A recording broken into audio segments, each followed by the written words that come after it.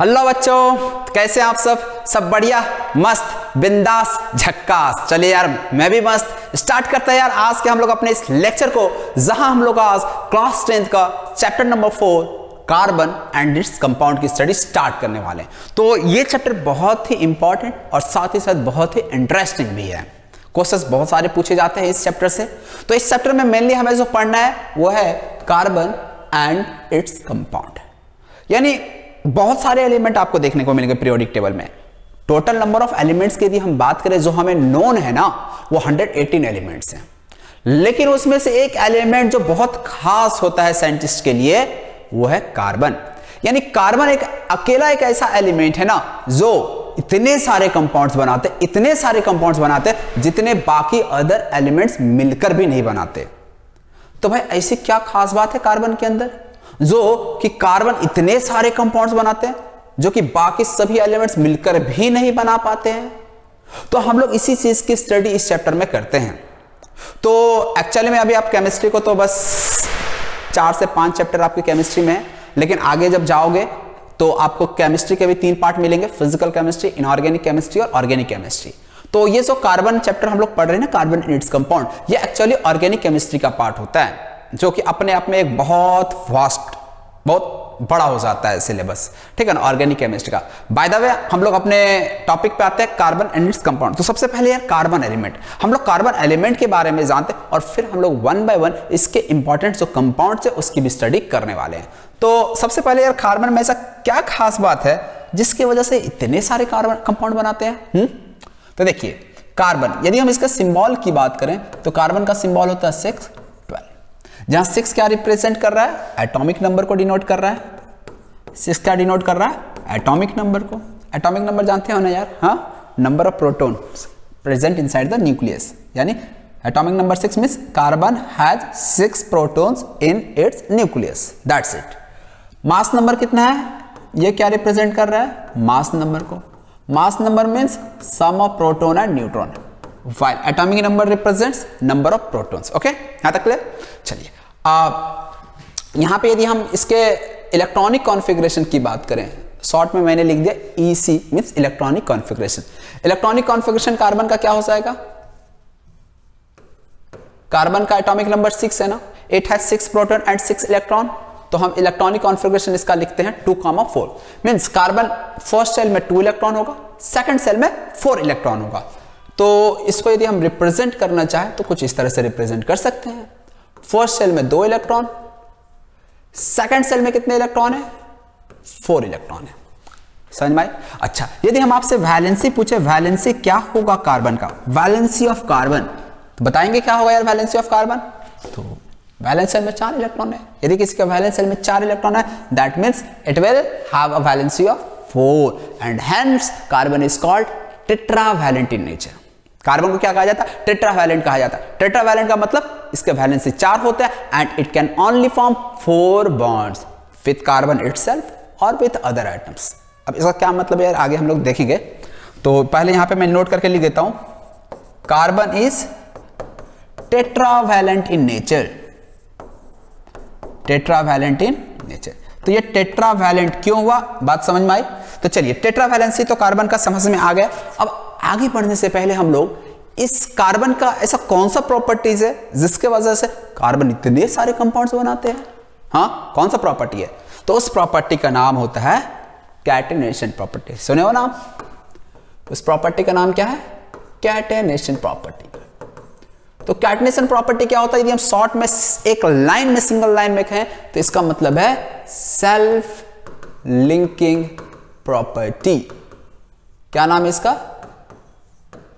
Self linking property self linking property का मतलब क्या होता है? यहाँ पे कार्बन एटम जो है ना, वो खुद दूसरे कार्बन एटम के साथ जुड़ते चला जाता है। यानी एक कार्बन एटम दूसरे, दूसरा वाला तीसरे कार्बन तीसरा वाला चौथा कार्बन यानी एक कार्बन एटम दूसरे कार्बन एटम के साथ जुड़ते चला जाता है और इस तरह से ये लार्ज मॉलिक्यूल्स बनाते हैं विथ हाई मॉलिक्यूलर मास तो इसी प्रॉपर्टी को हम लोग नाम देते हैं कैटिनेशन प्रॉपर्टी अब बात आई कि भाई कार्टनेशन प्रॉपर्टी जो है, बाकी एलिमेंट ऐसा नहीं करते हैं क्या? नहीं। बाकी एलिमेंट ऐसा नहीं कर सकते। क्यों नहीं कर सकते? क्योंकि वहाँ पे जो बॉन्ड बनता है ना, बाकी एलिमेंट्स जैसे फॉर एग्जांपल मान लो हम नाइट्रोजन के केस में कोशिश करते हैं। तो यदि हम नाइट्रोजन को इस तरह से जोड़ते चले जाएँगे ना तो नाइट्रोजन क्या होता है? ये जो compounds nitrogen nitrogen self linking self खुद अपने आप जब जुड़ते चले जाएँगे ना तो ये सारे बॉन्ड उतने स्टेबल नहीं होते। ये बॉन्ड ब्रेक हो जाते हैं और इसलिए ये लार्ज मॉलिक्यूल्स फॉर्म नहीं कर सकता है। सेम है यदि हम ऑक्सीजन को सोचें कि ऑक्सीजन को हम जोड़ते चले जाए ऑक्सीजन ऑक्सीजन को नॉट पॉसिबल अगेन ये अनस्टेबल होता है। क्यों अनस्टेबल होता है? तो दो तीन रीजन होती है। एक तो साइज़ छोटा और बड़ा होने की वजह से, दूसरा इलेक्ट्रॉन इलेक्ट्रॉन रिपल्सन होने की वजह से होता है ऐसा। बाय द वे रीजन आपको अभी उससे मतलब नहीं है। तो ये ऑक्सीजन वाले भी बॉन्ड्स होते हैं। नाइट्रोजन के केस में भी जो नाइट्रोजन नाइट्रोजन का जो बॉन्ड होगा, ये सब आपके स्टेबल नहीं होते। इसलिए ये आपका कैटनेशन प्रॉपर्टी शो नहीं करता। लेकिन यही चीज़ यदि हम कार्बन में करना चाहें तो ये कार्बन जुड़ते चला जाएगा। कार्बन एक नहीं, दो नहीं, दस नहीं, सौ नहीं, हज़ार हज़ार कार्बन एटम के साथ जुड़ते चला जा सकता है विदाउट ब्रेकिंग ऑफ़ बॉन्ड्स मतलब ये कार्बन कार्बन बॉन्ड इतना स्टेबल होता है कि भाई, ये ब्रेक भी नहीं होता है कार्बन कार्बन के बॉन्ड तो इसलिए इतने सारे लार्ज मॉलिक्यूल्स तो ये जो प्रॉपर्टी है ना, खुद एक एटम दूसरा एटम के साथ जुड़ते चले जा रहा है। वो भी खुद के साथ। इस प्रॉपर्टी को ही नाम क्या दिया गया? कैटेनेशन प्रॉपर्टी नाम में देखो भाई सेल्फ लिंकिंग सेल्फ खुद अपने ही एटम के साथ वो जुड़ते चला जाता है। बात क्लियर है? तो कैटनेशन प्रॉपर्टी क्या होता है? तो कैटनेशन प्रॉपर्टी के वजह से यदि पूछ दिया जाए आपसे एक सिंगल लाइन में कि भाई वो कौन सा प्रॉपर्टी है जिसके वजह से कार्बन इतने सारे कंपाउंड बनाते हैं? हाँ कौन सा? कैटनेशन प्रॉपर्टी याद रहेगा? गुड अच्छा इसके बाद इसके बाद आपका कार्बन के बाद एक और ऐसा एलिमेंट है जो कैटेनेशन प्रॉपर्टी शो करते हैं बट उस एक्सटेंट तक नहीं जितना कार्बन शो करता है। और वो जो दूसरा एलिमेंट है आफ्टर कार्बन जो मैक्सिमम कैटेनेशन प्रॉपर्टी शो करता है, वो है हाँ सिलिकॉन तो यार याद रखना, ये हो सकता है, पूछा जा सकता है वन मार्क्स क्वेश्चंस में। तो सिलिकॉन सिंबल क्या होता है? S I is the next element after carbon after carbon which shows which shows maximum catenation property which shows maximum catenation property बात आई समझ में अच्छा तो ये कैटेनेशन प्रॉपर्टी कार्बन के द्वारा ही क्यों शो किया जाता है वाई ठीक है ना तो reason reason for catenation catenation ही इतना ज़्यादा कैटनेशन प्रॉपर्टी क्यों शो करता है? तो इसके पीछे रीज़न क्या है? तो देखो रीज़न जो है ना, पहला reason very strong carbon carbon bond very strong carbon carbon bond यानी कार्बन कार्बन के जो बीच बॉन्ड बन रहा है ना, वो काफ़ी स्ट्रॉन्ग होता है। जिसके वजह से वो बॉन्ड ब्रेक भी नहीं होता, जुड़ते चला जाता है। दूसरा रीज़न क्या है? एक और रीज़न है इसके पीछे। दूसरा रीज़न है small size of carbon atom small size of carbon atom तो कार्बन एटम का साइज़ स्मॉल होता है। स्मॉल होने की वजह से क्या होगा? जो उनके बीच में जो बॉन्ड बन रहा है ना, वो काफ़ी स्ट्रॉन्गर बॉन्ड बनता है। और इसलिए वो एक स्टेबल बॉन्ड बनाता है। तो इस वजह से कार्बन आपका कैटनेशन प्रॉपर्टी शो करता है। बात क्लियर है ये चीज़ें? चलिए तो ये चीज़ तो समझ में आ गया। तो अब ये दिमाग में डाउट नहीं होना चाहिए कि भाई कार्बन ही क्यों इतने सारे कंपाउंड्स बनाते हैं। यदि पूछा जाए, एक सिंगल वर्ड में इसका आंसर देना हो तो आंसर क्या होगा? कैटिनेशन ओके तो चलिए, आगे हम लोग बढ़ते हैं। अब, आगे बढ़ने से पहले कार्बन के कंपाउंड्स का हमें स्टडी करना है। कार्बन किस तरह से वो जुड़ता है? तो देखो कार्बन के पास वैलेंस सेल में कितने इलेक्ट्रॉन है? चार। कितने इलेक्ट्रॉन है? चार इलेक्ट्रॉन है। बेसिक्स लेक्चर में भी पढ़ाए हैं, और इससे पहले भी मेटल्स एंड नॉन मेटल्स का जो जो रिवीजन हम लोग वन शॉट वीडियो बनाए थे, वहाँ पे भी देखे थे। यदि किसी के वैलेंस में वन टू या थ्री वैलेंस इलेक्ट्रॉन होते हैं तो वो कौन सा बॉन्ड बनाता है? हुँ? हम्म? यदि किसी के वैलेंस में वन टू या थ्री वैलेंस इलेक्ट्रॉन होगा, कौन सा बॉन्ड बनाता है? आयोनिक बॉन्ड या इलेक्ट्रोवैलेंट बॉन्ड बनाता है। लेकिन यदि किसी के वैलेंस में फोर इलेक्ट्रॉन है फोर इलेक्ट्रॉन है तो ओनली कोवेलेंट बॉन्ड बना सकता है। वो आयोनिक बॉन्ड बना ही नहीं सकता। क्योंकि जब फोर इलेक्ट्रॉन है वैलेंस सेल में तो वो केवल शेयर कर सकता है इलेक्ट्रॉन का। केवल शेयरिंग कर सकता है। और यदि केवल शेयरिंग हो रहा है तो वो केवल कोवेलेंट बॉन्ड ही बनाएगा बता रही समझ में? तो इसलिए कार्बन जो होता है ना, उसके वैलेंस में four electron it can only share its four electron to form covalent bond okay तो इसलिए अब हम थोड़ा यहाँ पे कोवेलेंट बॉन्ड के बारे में जान लेते हैं। इससे पहले भी हम लोग कोवेलेंट बॉन्ड के बारे में पढ़ा है। मैं प्रीवियस लेक्चर्स का भी डिस्क्रिप्शन आपको कमेंट बॉक्स में डाल दूँगा डिस्क्रिप्शन बॉक्स में डाल दूँगा। जिनको थोड़ा डिटेल में जानना होगा तो वो वहाँ से भी देख सकते हैं। बाय द वे मैं यहाँ पे कोवेलेंट बॉन्ड के बारे में हर वो चीज़ें बता दे रहा हूँ जो आपके लिए ज़रूरत है। चलिए कोवेलेंट बॉन्ड तो सबसे पहले कोवेलेंट बॉन्ड क्या होता है? कोवेलेंट बॉन्ड को हम डिफाइन किस तरह से करेंगे? तो bond formed by sharing of electrons यानी जो कोवेलेंट बॉन्ड होता है वो कैसे बनता है? शेयरिंग ऑफ़ इलेक्ट्रॉन शेयरिंग का मतलब एक हम तो एक तुम। हम भी एक, तुम भी एक। वन बाय वन शेयरिंग दो इलेक्ट्रॉन का यदि शेयरिंग होगा, दो हम दे रहे हैं, दो तुम हमको दोगे। दो दो इलेक्ट्रॉन का शेयरिंग होगा डबल कोवेलेंट बॉन्ड एक एक इलेक्ट्रॉन का शेयरिंग होगा तो एक इलेक्ट्रॉन हम, एक इलेक्ट्रॉन तुम दे रहे। तो सिंगल कोवेलेंट बॉन्ड यदि तीन हम, तीन तुम शेयर कर रहे तीन मेरे तरफ़ से, तीन तुम्हारे से तरफ़ से तो इस तरह से ट्रिपल कोवेलेंट बॉन्डेड का फॉर्मेशन हो जाएगा। ठीक है? तो कोवेलेंट बॉन्ड भी आपके डिफरेंट टाइप्स के हो सकते हैं। तो वो सारे एग्ज़ाम्पल को हम लोग यहाँ पे स्टडी कर लेते हैं। ओके तो यहीं पे मैं लिख देता हूँ टाइप्स ऑफ़ कोवेलेंट बॉन्ड ये चीज़ याद रखना कार्बन केवल और केवल कोवेलेंट बॉन्ड बनाएगा आयनिक बॉन्ड ये नहीं बनाता। तो टाइप्स में आ गया पहला आपका single covalent bond single covalent bond तो सिंगल कोवेलेंट बॉन्ड किस तरह से बनता है यार, इस चीज़ को हम लोग देख लेते हैं एग्जांपल के हेल्प से। पहला एग्ज़ाम्पल हम बात करते हैं H2 सबसे सिंपल हाइड्रोजन तो हाइड्रोजन की यदि हम बात करें तो हाइड्रोजन के पास वैलेंस में कितने इलेक्ट्रॉन होते हैं? एक। यार, एक चीज़ याद रखना, इससे पहले भी बताए हैं कि केवल वैलेंस इलेक्ट्रॉन बॉन्डिंग में पार्टिसिपेट करता है। Only valence electron valence electron का मतलब जो बाहरी सेल में इलेक्ट्रॉन होते हैं। तो हाइड्रोजन के पास एक ही इलेक्ट्रॉन होता है तो वैलेंस इलेक्ट्रॉन वन ही रहेगा हाइड्रोजन के पास। अब हाइड्रोजन आपको क्या ऑक्टेट कंप्लीट करना चाहता है कि डुप्लेट हाँ? तो हाइड्रोजन को डुप्लेट कंप्लीट करना है। डुप्लेट मीन्स ये केवल अपने वैलेंस में चाहता है दो इलेक्ट्रॉन हो जाए। हीलियम के जैसा हो जाएगा इनर्ट गैस का इलेक्ट्रॉनिक कॉन्फ़िगरेशन ये अचीव कर लेगा और स्टेबल बन जाएगा। तो हाइड्रोजन को स्टेबिलिटी अचीव करने के लिए बस और बस दो इलेक्ट्रॉन होना। पहले से एक इलेक्ट्रॉन है इसके पास, एक और होना। तो ये क्या करेगा? ये इस हाइड्रोजन का एक इलेक्ट्रॉन ले लेगा। हाइड्रोजन के पास हो गया दो इलेक्ट्रॉन इस हाइड्रोजन के पास एक इलेक्ट्रॉन ही है। तो ये भी क्या करेगा? इसका एक इलेक्ट्रॉन ले लेगा। कोई भी यहाँ पे इलेक्ट्रॉन अपना पूरी तरह से दूसरे को नहीं देगा। ये नहीं कि भाई ये हाइड्रोजन इसका एक इलेक्ट्रॉन ले लिया तो ये हाइड्रोजन इसको दे देगा पूरी तरह से। ना, पूरी तरह से नहीं दे सकता, क्योंकि यदि पूरी तरह से दिया तो इस हाइड्रोजन के पास कितना बचेगा? ज़ीरो बचेगा ना। और यदि ज़ीरो बचा तो क्या ये स्टेबल हुआ? नहीं ना। ये तो भाई चलो एक ले लेगा तो ये स्टेबल हो जाएगा, लेकिन ये तो स्टेबल ही नहीं होगा। तो इसलिए ये इलेक्ट्रॉन पूरी तरह से देगा ही नहीं। तो इसलिए यहाँ पे क्या होता है? शेयरिंग ऑफ़ इलेक्ट्रॉन होता है। मतलब ना हम तुमको देंगे, ना तुम हमको देगा। हम लोग शेयरिंग कर लेंगे। जिससे पहले से इसके पास एक है, इसके पास भी पहले से एक है। तुम एक काम करो, तुम मेरा एक इलेक्ट्रॉन यूज़ कर लो, हम तुम्हारा भी एक यूज़ कर लेते हैं। तो एक और एक दो, इधर से भी एक और एक दो। दोनों का दोनों भाई हैप्पी दोनों का डुप्लेट कंप्लीट स्टेबल बताइए समझ में? तो यहाँ पे हम क्या देख रहे हैं? हाइड्रोजन हाइड्रोजन के बीच में एक एक इलेक्ट्रॉन का शेयरिंग हो रहा है। इसलिए हम यहाँ पे सिंगल कोवेलेंट बॉन्ड ड्रॉ कर देते हैं। सिंगल लाइन का मतलब सिंगल कोवेलेंट बॉन्ड क्योंकि एक एक इलेक्ट्रॉन का शेयरिंग हुआ। इसी तरह से और भी एग्ज़ाम्पल देख लेते हैं। जैसे Cl2 की बात करते हैं। अच्छा Cl का इलेक्ट्रॉनिक कॉन्फ़िगरेशन क्या होता है? टू कॉमा एट याद रखना यार ठीक है ना? Cl2 तो क्लोरीन के पास कितने वैलेंस इलेक्ट्रॉन है? सेवन याद रखना, आपका ये जो इनर सेल के इलेक्ट्रॉन्स है ना, ये बॉन्डिंग में पार्टिसिपेट नहीं करेगा। केवल कौन पार्टिसिपेट करेगा? वैलेंस इलेक्ट्रॉन वैलेंस सेल में कितने इलेक्ट्रॉन है क्लोरीन के पास? सेवन तो इसलिए क्लोरीन के पास है सेवन इलेक्ट्रॉन दो, चार, पाँच छ सात. गॉट इट क्लियर चलिए दो क्लोरीन है तो एक और क्लोरीन आया। एक, दो, तीन, चार, पाँच छ सात। अब चलो बताओ यार, ये क्लोरीन के पास कितने हैं? सात। स्टेबल होना, स्टेबल होने के लिए क्या करेगा ये? Octet complete. ऑक्टेट कंप्लीट कैसे करेगा? तो सात एक इधर से ले लेगा। सात एक इधर से ले लिया तो इसके पास आठ हो जाएगा। लेकिन जरा मुझे बताना, क्या ये क्लोरीन अपना इलेक्ट्रॉन इसको पूरी तरह से देगा क्या? ना, पूरी तरह से यदि ये इसको दे दिया तो इसके पास कितना बचेगा? केवल छः बचेगा ना। इसका तो ऑक्टेट कंप्लीट नहीं होगा। इसलिए ये अपना इलेक्ट्रॉन पूरी तरह से इसको नहीं देने वाला। ये क्या बोलेगा भाई? इसके पास सात, इसको भी एक चाहिए, आठ हो जाने के लिए।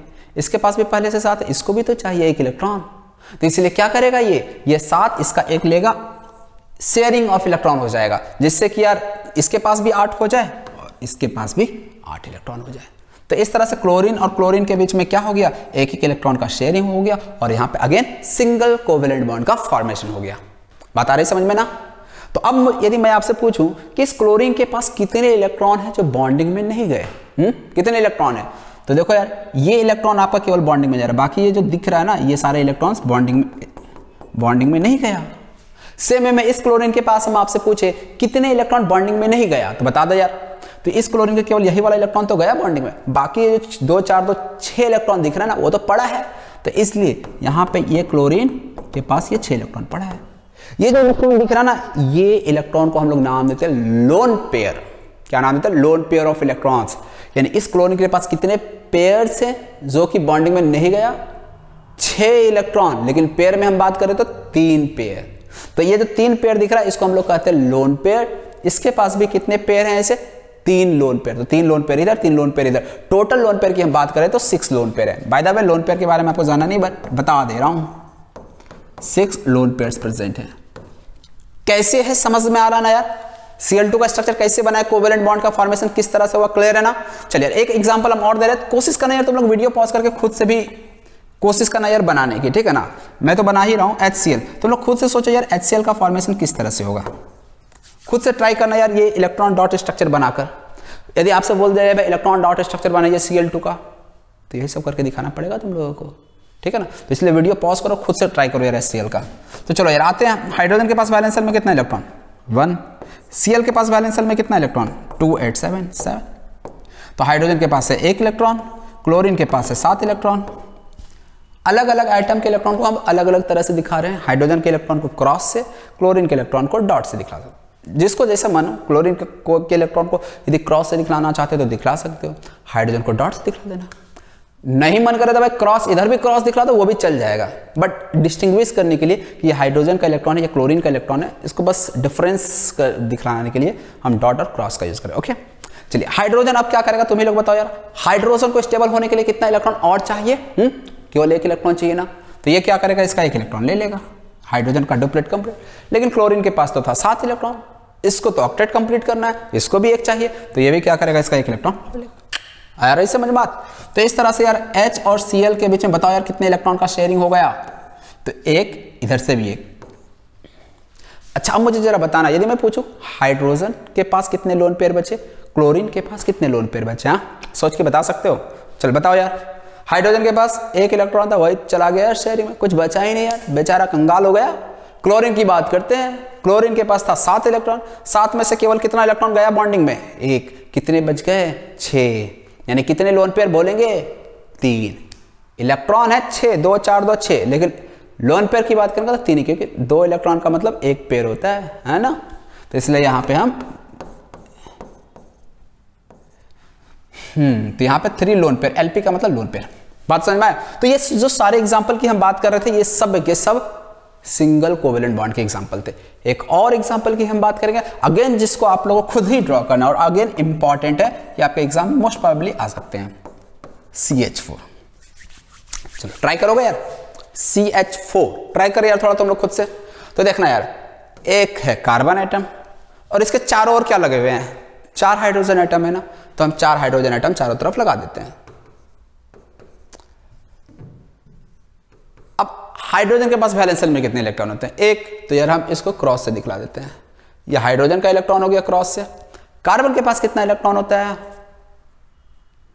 चार इलेक्ट्रॉन होता है। तो एक, दो, तीन, चार। तो इस तरह से कार्बन के पास हो गया चार इलेक्ट्रॉन अब देखना हाइड्रोजन आपको क्या करेगा? डुप्लेट करने के लिए कंप्लीट करने के लिए एक इलेक्ट्रॉन कार्बन से ले लेगा। हाइड्रोजन के पास हो गया दो इलेक्ट्रॉन ये भी हाइड्रोजन अपना डुप्लेट कंप्लीट करने के लिए फिर से कार्बन से ले लिया भाई। ये भी हाइड्रोजन एक इलेक्ट्रॉन ले लिया, ये भी हाइड्रोजन यानी इस तरह से हम क्या देख रहे हैं? हाइड्रोजन का हर जगह डुप्लेट कंप्लीट है। मतलब हर एक जगह हाइड्रोजन के पास दो दो इलेक्ट्रॉन है। समझ में आ रही बात? अब बात आया कार्बन का। कार्बन के पास तो बेचारा चार इलेक्ट्रॉन था। उसको ऑक्टेट कंप्लीट करने के लिए कितना इलेक्ट्रॉन चाहिए? चार और इलेक्ट्रॉन चाहिए। चार का कैसे लेगा? तो चार इसके पास पहले से बड़ा था, ये जो डॉट दिख रहा है वही चार इलेक्ट्रॉन है। तो अब क्या करेगा भाई, ये हाइड्रोजन इससे लिया है तो अब ये कार्बन भी इसको छोड़ने वाला नहीं है। बोलेगा यार, तू हमसे लिया ना, अब तो भाई हमको अपना इलेक्ट्रॉन दे। इस तरह से इधर से भी, इधर से भी, इधर से भी। यानी चारों तरफ़ से चारों हाइड्रोजन का इलेक्ट्रॉन को इस तरह से शेयर कर लेगा। यानी कार्बन के पास पहले चार था, और इस तरह से चार इधर से और ले लिया। कार्बन के पास कितना इलेक्ट्रॉन हो गया? आठ। हो गया ना ऑक्टेट कंप्लीट तो इस तरह से यदि हम सी एच फोर का स्ट्रक्चर बनाएँ तो यहाँ पे देखना सी और इस एच के बीच में कितने इलेक्ट्रॉन का शेयरिंग हो रहा है? एक, इधर से भी। ये देखो हाइड्रोजन इसका एक लिया और ये कार्बन भी इसका एक ही इलेक्ट्रॉन ले रहा है ना, इसलिए एक एक इलेक्ट्रॉन का शेयरिंग हो रहा है, इसलिए सी एच बॉन्ड बनेगा। अगेन इस सी और एच के बीच भी एक इलेक्ट्रॉन का शेयरिंग इधर भी इधर भी। तो इस तरह से सी एच फोर का फॉर्मेशन हो गया। मीथेन जिसका नाम है, एक इंपॉर्टेंट ऑर्गेनिक कंपाउंड है, जिसके बारे में आगे हम लोग देखने वाले हैं यार। तो सी एच फोर का स्ट्रक्चर कैसे बना? क्लियर है ये चीज़? हम्म? चलिए उम्मीद करते हैं यार आप लोग अच्छे से समझ में आ रही होगी। तो यह सी एच फोर का स्ट्रक्चर हो गया। ओके तो अभी हम लोग जितने भी एग्ज़ाम्पल देखे ना, इसमें हर जगह सिंगल कोवेलेंट बॉन्ड थे ओनली तो इसलिए अब हम लोग नेक्स्ट जो देखने वाले हैं, वो डबल कोवेलेंट बॉन्ड के भी एग्ज़ाम्पल देखने वाले हैं. आप लोग यदि फ़ोटो वोटो लेना हो तो यार, आप लोग ले लेना. ठीक है? तो ये सारे एग्ज़ाम्पल हो गए सिंगल कोवेलेंट बॉन्ड के एग्ज़ाम्पल हो गए. नेक्स्ट अब हम लोग आते हैं डबल कोवेलेंट बॉन्ड के कुछ एग्ज़ाम्पल पे. इट चलिए. डबल कोवेलेंट बॉन्ड चलिए, सबसे इसका जो इंपॉर्टेंट एग्ज़ाम्पल है वो है O2 O2 ऑक्सीजन ऑक्सीजन के पास बताओ यार इलेक्ट्रॉनिक कॉन्फिगरेशन क्या होता है? टू कामा सिक्स ठीक है? ऑक्सीजन के पास है ओ टू मतलब दो ऑक्सीजन आइटम ऑक्सीजन के पास बैलेंस में कितने इलेक्ट्रॉन है? हाँ सिक्स तो दो, चार छ दो, चार छ डॉट थोड़ा ज़्यादा छोटा हो सकता, हो गया हो तो समझना है तुम लोग खुद भी। तो अब बताना यार, इस ऑक्सीजन को कितने इलेक्ट्रॉन चाहिए? ऑक्टेट कंप्लीट करने के लिए? तो पहले से छः है ना वैलेंस सेल में? दो और चाहिए। क्या करेगा? ये दो इसका ले लेगा। छः है ना? दो इसका ले लेगा छः दो आठ, काम हो जाएगा। लेकिन इस ऑक्सीजन के पास भी छः इलेक्ट्रॉन है। इसको भी चाहिए दो। तो ये भी इसका दो ले लेगा। यानी दोनों के बीच में दो दो इलेक्ट्रॉन का शेयरिंग ये इसका दो, ये इसका दो। बन गया यार। देखो छः इसका दो ले लिया। आठ हो गया। इसके पास छः था। ये भी इसका भी दो ले लेगा। हो गया यार काम। तो इस तरह से ऑक्सीजन ऑक्सीजन कितने इलेक्ट्रॉन का शेयरिंग हुआ? हाँ? इधर से दो, इधर से दो दो दो इलेक्ट्रॉन का शेयरिंग हुआ ना तो इसलिए यहाँ पे डबल कोवेलेंट बॉन्ड आ जाएगा। अब यार तुम लोग जरा बताना मुझे ऑक्सीजन के पास कितने लोन पेयर बचेंगे? सोचो और थोड़ा बताओ अच्छे से यार। तो देखो ऑक्सीजन के पास छह थे, छह में से दो इलेक्ट्रॉन चला गया बॉन्डिंग में। कितने बच गए? चार इलेक्ट्रॉन यानी ये दो लोन पेयर आपका कहलाएगा। कितने लोन पेयर कहलाएँगे? दो। इसी तरह से इस ऑक्सीजन की यदि हम बात करें तो इसके पास भी दो लोन पेयर कहलाएगा तो इस तरह से यार आपका O2 का फॉर्मेशन हो गया। गॉट इट समझ में आ रहा बात यार? चलिए, एक और एग्जांपल की हम बात कर लेते हैं यहाँ पे। आप लोग यार खुद से कोशिश करना CO2 कार्बन डाइऑक्साइड का स्ट्रक्चर बनाने के। यदि आप लोग बना दिए ईमानदारी से CO2 का स्ट्रक्चर यदि इस तरह से इलेक्ट्रॉन डॉट स्ट्रक्चर बना दिए, समझ जाना कि यार आप लोग का कॉन्सेप्ट क्लियर है। कोशिश करो यार वीडियो पॉज करके तुम लोग। चलिए कार्बन ऑक्सीजन ऑक्सीजन चलिए बताओ ऑक्सीजन के पास वैलेंस सेल में कितने इलेक्ट्रॉन कितने इलेक्ट्रॉन छः तो दो चार छ इस कार्बन के पास कितने इलेक्ट्रॉन? चार इलेक्ट्रॉन। दो और दो, चार। इस ऑक्सीजन के पास छ इलेक्ट्रॉन। चलिए, ठीक है, यहाँ तक। अब बताना यार पहले हम ऑक्सीजन की बात करते हैं, ठीक है ना? ऑक्सीजन को कितना इलेक्ट्रॉन चाहिए ऑक्टेट कंप्लीट करने के लिए? दो। तो ये ऑक्सीजन ले लिया इसका दो इलेक्ट्रॉन। छह था, दो इधर से ले लिया, छह दो आठ। इस ऑक्सीजन की बात करते छह था, दो इधर से ले लेगा। छह दो आठ। ऑक्सीजन दोनों के दोनों हैप्पी हो गए। अब बात आती है कार्बन की। कार्बन के पास कितने इलेक्ट्रॉन है? दो दो चार ही इलेक्ट्रॉन है। ऑक्टेट कंप्लीट करने के लिए कितना चाहिए? चार और चाहिए।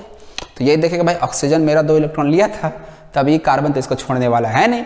तो ये कार्बन भी इसका दो इलेक्ट्रॉन लेगा और इधर भी ऑक्सीजन पड़ा है इधर से भी दो इलेक्ट्रॉन लेगा। तो चार इसके पास खुद का है, दो इधर दो इधर छः दो आठ हो गया। तो इस तरह से ये बन गया। तो देखो यार कार्बन ऑक्सीजन ऑक्सीजन यहाँ पे कार्बन और ऑक्सीजन के बीच में कितने इलेक्ट्रॉन का शेयरिंग हो रहा है? दो दो इलेक्ट्रॉन का शेयरिंग हो रहा है। तो इधर डबल कोवेलेंट बॉन्ड आ जाएगा। सेम वे में इस कार्बन और इस ऑक्सीजन के बीच बात करा जाए तो यहाँ पे भी दो दो इलेक्ट्रॉन का शेयरिंग हुआ, इसलिए यहाँ पे भी डबल कोवेलेंट बॉन्ड आ जाएगा। आता ही समझ में ना यार? चलिए लोन पेयर दिखलाने की ज़रूरत नहीं है बट समझ में आ गया तो दिखला देना यार। अदरवाइज़ ज़रूरत नहीं है। इस ऑक्सीजन के पास कितने बच रहे हैं? चार इलेक्ट्रॉन बच रहे हैं। इस ऑक्सीजन के पास कितने बच रहे हैं? छह में से दो गया कितना बच गया? चार। ये जो इलेक्ट्रॉन दिख रहा है ना चार इलेक्ट्रॉन ये बॉन्डिंग में नहीं जा रहा इसी को लोन पेयर कहते हैं। बेचारा लोन है लाइफ में इसलिए इसे लोन पेयर नाम दे दिए। ओके okay, तो CO2 का भी स्ट्रक्चर समझ में आ गया तो इस तरह से हम लोग डबल कोवेलेंट बॉन्डेड के भी एग्जांपल देख। लें ये दो एग्जांपल O2 CO2 और भी बहुत सारे एग्जांपल होते हैं। हम लोग कुछ एग्जांपल कर रहे हैं कॉन्सेप्ट अपना क्लियर हो जाए बस दैट्स इट ठीक है ना? तो अब हम लोग नेक्स्ट थर्ड जो टाइप है वो आपका triple covalent bond triple covalent bond चलिए, इसका भी एग्जांपल देख लेते हैं। एक एग्जांपल जो सबसे कॉमन एग्जांपल है वो N2 नाइट्रोजन गैस नाइट्रोजन का बताओ यार इलेक्ट्रॉनिक कॉन्फ़िगरेशन क्या लिखते हैं? टू कॉमा फाइव ओके चलिए तो यहाँ पे देखो दो नाइट्रोजन आइटम आएगा। नाइट्रोजन के पास वैलेंस में कितने इलेक्ट्रॉन होते हैं? देखिए, कितने इलेक्ट्रॉन होते हैं? फाइव इस नाइट्रोजन के पास भी कितने इलेक्ट्रॉन है? फाइव अब जरा सोचो, पहले तुम लोग खुद से मतलब कि वीडियो पॉज करके यार स्ट्रक्चर ड्रॉ करने की कोशिश करना। तो नाइट्रोजन के पास पाँच है ना कितना इलेक्ट्रॉन चाहिए ऑक्टेट कंप्लीट करने के लिए। तीन ही चाहिए ना। तो ये क्या करेगा? तीन इधर से ले लेगा। पाँच और इधर से तीन, आठ। लेकिन इसके पास भी तो पाँच ही इलेक्ट्रॉन था, इसको भी तो तीन चाहिए था। तो ये इसका तीन लिया तो ये बोलेगा, भाई, तुम भी हमको अपना तीन इलेक्ट्रॉन दे दो। तब तो जाकर मेरा भी ऑक्टेट कंप्लीट होगा, हम भी स्टेबल होंगे। तो इस तरह से दोनों तीन तीन का शेयरिंग कर लेगा। तो यहाँ पे नाइट्रोजन और इस नाइट्रोजन कितने इलेक्ट्रॉन का शेयरिंग हो गया दोनों के बीच में? तीन तीन इलेक्ट्रॉन का। तो इस तरह से आपका अच्छा नाइट्रोजन नाइट्रोजन में तीन इलेक्ट्रॉन इधर से, तीन इलेक्ट्रॉन इधर से। ट्रिपल कोवेलेंटेड बॉन्ड क्यों बना समझ में आ गया? क्योंकि तीन तीन इलेक्ट्रॉन का दोनों साइड से शेयरिंग हो रहा है। यदि दो इलेक्ट्रॉन इधर से, दो इलेक्ट्रॉन इधर से शेयरिंग होगा तो वो डबल कोवेलेंटेड बॉन्ड बना देगा। इधर से एक इलेक्ट्रॉन, इधर से एक इलेक्ट्रॉन का शेयरिंग होगा तो सिंगल कोवेलेंट बॉन्ड का फॉर्मेशन कर देगा। ठीक है? चलिए, अब यदि हम आपसे पूछे कि इस नाइट्रोजन के पास क्या कोई लोन पेयर बचा? सोचो। नाइट्रोजन के पास पाँच था, पाँच में से तीन गया बॉन्डिंग में। कितना बच गया? दो इलेक्ट्रॉन बच गया मीन्स एक लोन पेयर बोलेंगे इसे। इसी तरह से इस नाइट्रोजन के पास भी हम बात करें तो एक लोन पेयर हम बोलेंगे। तो इस तरह से ये आपका N2 का स्ट्रक्चर हो गया, जिसमें ट्रिपल कोवेलेंट बॉन्ड प्रेजेंट है। समझ में आ रहे हैं बड़ा ही इजी टॉपिक है, बड़ा ही इजी टॉपिक है। इवन चैप्टर भी बहुत इजी है और बहुत मज़ेदार भी है। वीडियो पॉज करना कोशिश करना यार HCN नाम होता है इसका हाइड्रोजन साइनाइड इसका स्ट्रक्चर बनाने का। इस तरह से एच सी और एन लगे होंगे। अब इसके बीच में तुम लोग इलेक्ट्रॉन डॉट स्ट्रक्चर बनाने की कोशिश करो, खुद से करो। वीडियो पॉज करके करो। तो देखिए हम इधर तो करते हैं। हाइड्रोजन के पास कितने इलेक्ट्रॉन एक इलेक्ट्रॉन कार्बन के पास कितने इलेक्ट्रॉन चार इलेक्ट्रॉन नाइट्रोजन के पास कितने इलेक्ट्रॉन पाँच इलेक्ट्रॉन ठीक है कार्बन के इलेक्ट्रॉन को डॉट से हाइड्रोजन को क्रॉस है नाइट्रोजन को भी क्रॉस है। जिसको मन करे भाई डॉट क्रॉस दिखला सकते हो। अदर अदर अलग एलिमेंट्स को हम लोग अलग अलग तरीके से दिखला रहे हैं, ठीक है? तो हाइड्रोजन को पहले हम लोग हमेशा साइड वाले एलिमेंट्स को सेटिस्फाई कराते हैं। हाइड्रोजन के पास एक इलेक्ट्रॉन है, एक चाहिए कार्बन का एक इलेक्ट्रॉन ले लिया हाइड्रोजन के पास हो गया दो इलेक्ट्रॉन काम बन गया भाई हाइड्रोजन का। नाइट्रोजन के पास पाँच इलेक्ट्रॉन है वैलेंस सेल में। देख भाई नाइट्रोजन के वैलेंस सेल में पाँच इलेक्ट्रॉन होता है इसलिए हम यहाँ पे पाँच लिख रहे हैं। कार्बन के वैलेंस सेल में चार इलेक्ट्रॉन होता है इसलिए तीन और एक चार लिखे। तो इसलिए आप लोग ये ना पूछे कि भाई चार ही क्यों लिखे? पाँच ही क्यों लिखे? तो हम लोगों को केवल मतलब होता है वैलेंस इलेक्ट्रॉन से। हमेशा हम बोल रहे हैं, केवल valence electron only valence electron participates in bond formation इस चीज़ का यार ध्यान रखना तुम लोग। तो हाइड्रोजन का डुप्लेट कंप्लीट इसको पाँच और तीन चाहिए था, आठ। पाँच, तीन, आठ। नाइट्रोजन भी हैप्पी हाइड्रोजन भी हैप्पी अब बच गया कार्बन कार्बन के पास से चार इलेक्ट्रॉन अब देखिएगा भाई, हमसे कौन कितना इलेक्ट्रॉन लिया है? जितना लिया होगा, हम भी भाई उससे वसूलेंगे उतना इलेक्ट्रॉन हाइड्रोजन इसका एक लिया था कार्बन भी इसका एक ले लेगा। नाइट्रोजन इसका तीन लिया था ये भी इसका तीन ले लेगा। यानी कार्बन क्या करेगा? तीन इधर से, एक इधर से, तीन और एक चार। और इसके पास खुद का भी चार इलेक्ट्रॉन पहले से पड़ा था। तो कितने इलेक्ट्रॉन हो गए कार्बन के पास? कार्बन के पास आठ इलेक्ट्रॉन हो गया इसका भी ऑक्टेट कंप्लीट ये भी बेचारा मस्त स्टेबल हो गया। आई बात समझ में? तो इस तरह से एच सी एन अब बताना, इसमें आपका कौन कौन सा बॉन्ड प्रेजेंट है? Single double triple only single only double only triple bond हाँ? देखो यार हाइड्रोजन कार्बन के बीच में कितने इलेक्ट्रॉन का शेयरिंग एक। तो यहाँ पे क्या आ जाएगा? सिंगल कोवेलेंट बॉन्ड नाइट्रोजन के पास तीन इलेक्ट्रॉन तो कार्बन नाइट्रोजन के बीच तीन तीन इलेक्ट्रॉन का शेयरिंग तो यहाँ ट्रिपल कोवेलेंट बॉन्ड आ जाएगा। मतलब यहाँ एच हम क्या देख रहे हैं कि सिंगल कोवेलेंट बॉन्ड भी प्रेजेंट है और साथ में ट्रिपल कोवेलेंट बॉन्ड भी प्रेजेंट है। क्लियर है ये चीज़? तो इस तरह से यहाँ पे ट्रिपल कोवेलेंट बॉन्डेड के भी कुछ एग्जांपल्स हम लोग देख लिए। और मुझे लगता है यार, अब इतने सारे एग्जांपल करने के बाद कोवेलेंट बॉन्ड का कॉन्सेप्ट क्लियर हो गया होगा आप लोगों को। ओके तो चलिए तो इसके बाद अब हम लोग कार्बन के कुछ एलोट्रॉप से इंपॉर्टेंट एलोट्रॉप से उसके बारे में स्टडी करते हैं। ओके तो आप लोग को यदि कुछ स्क्रीनशॉट लेना हो तो आप स्क्रीनशॉट ले लो पहले। अब आगे बढ़ते हैं। और नेक्स्ट हम लोग देखने वाले हैं कार्बन के एलोट्रॉप्स के बारे में। तो सबसे पहले एलोट्रॉप्स क्या होता है, इस चीज़ को हम लोग समझ लेते हैं। Allotropes of carbon allotropes allotropes का मतलब क्या होता है? तो different forms of same element having different physical properties क्या मतलब है? लिख देता हूँ। Different forms different forms of same element, of same element having having different physical properties. Chemical properties इनका सेम होता है, लेकिन फ़िज़िकल प्रॉपर्टीज़ की हम बात करें तो ये डिफरेंट होता है। आज जैसे हम बात करें कार्बन के कार्बन के आपके डिफरेंट एलोट्रॉप्स मेन तीन एलोट्रॉप्स फॉर्म होते हैं ना, वो आपके three allotropes of carbon carbon का जो तीन मेन एलोट्रॉप्स है, पहला आपका ग्रेफाइट डायमंड डायमंड से स्टार्ट करते हैं। जो इंपॉर्टेंट है।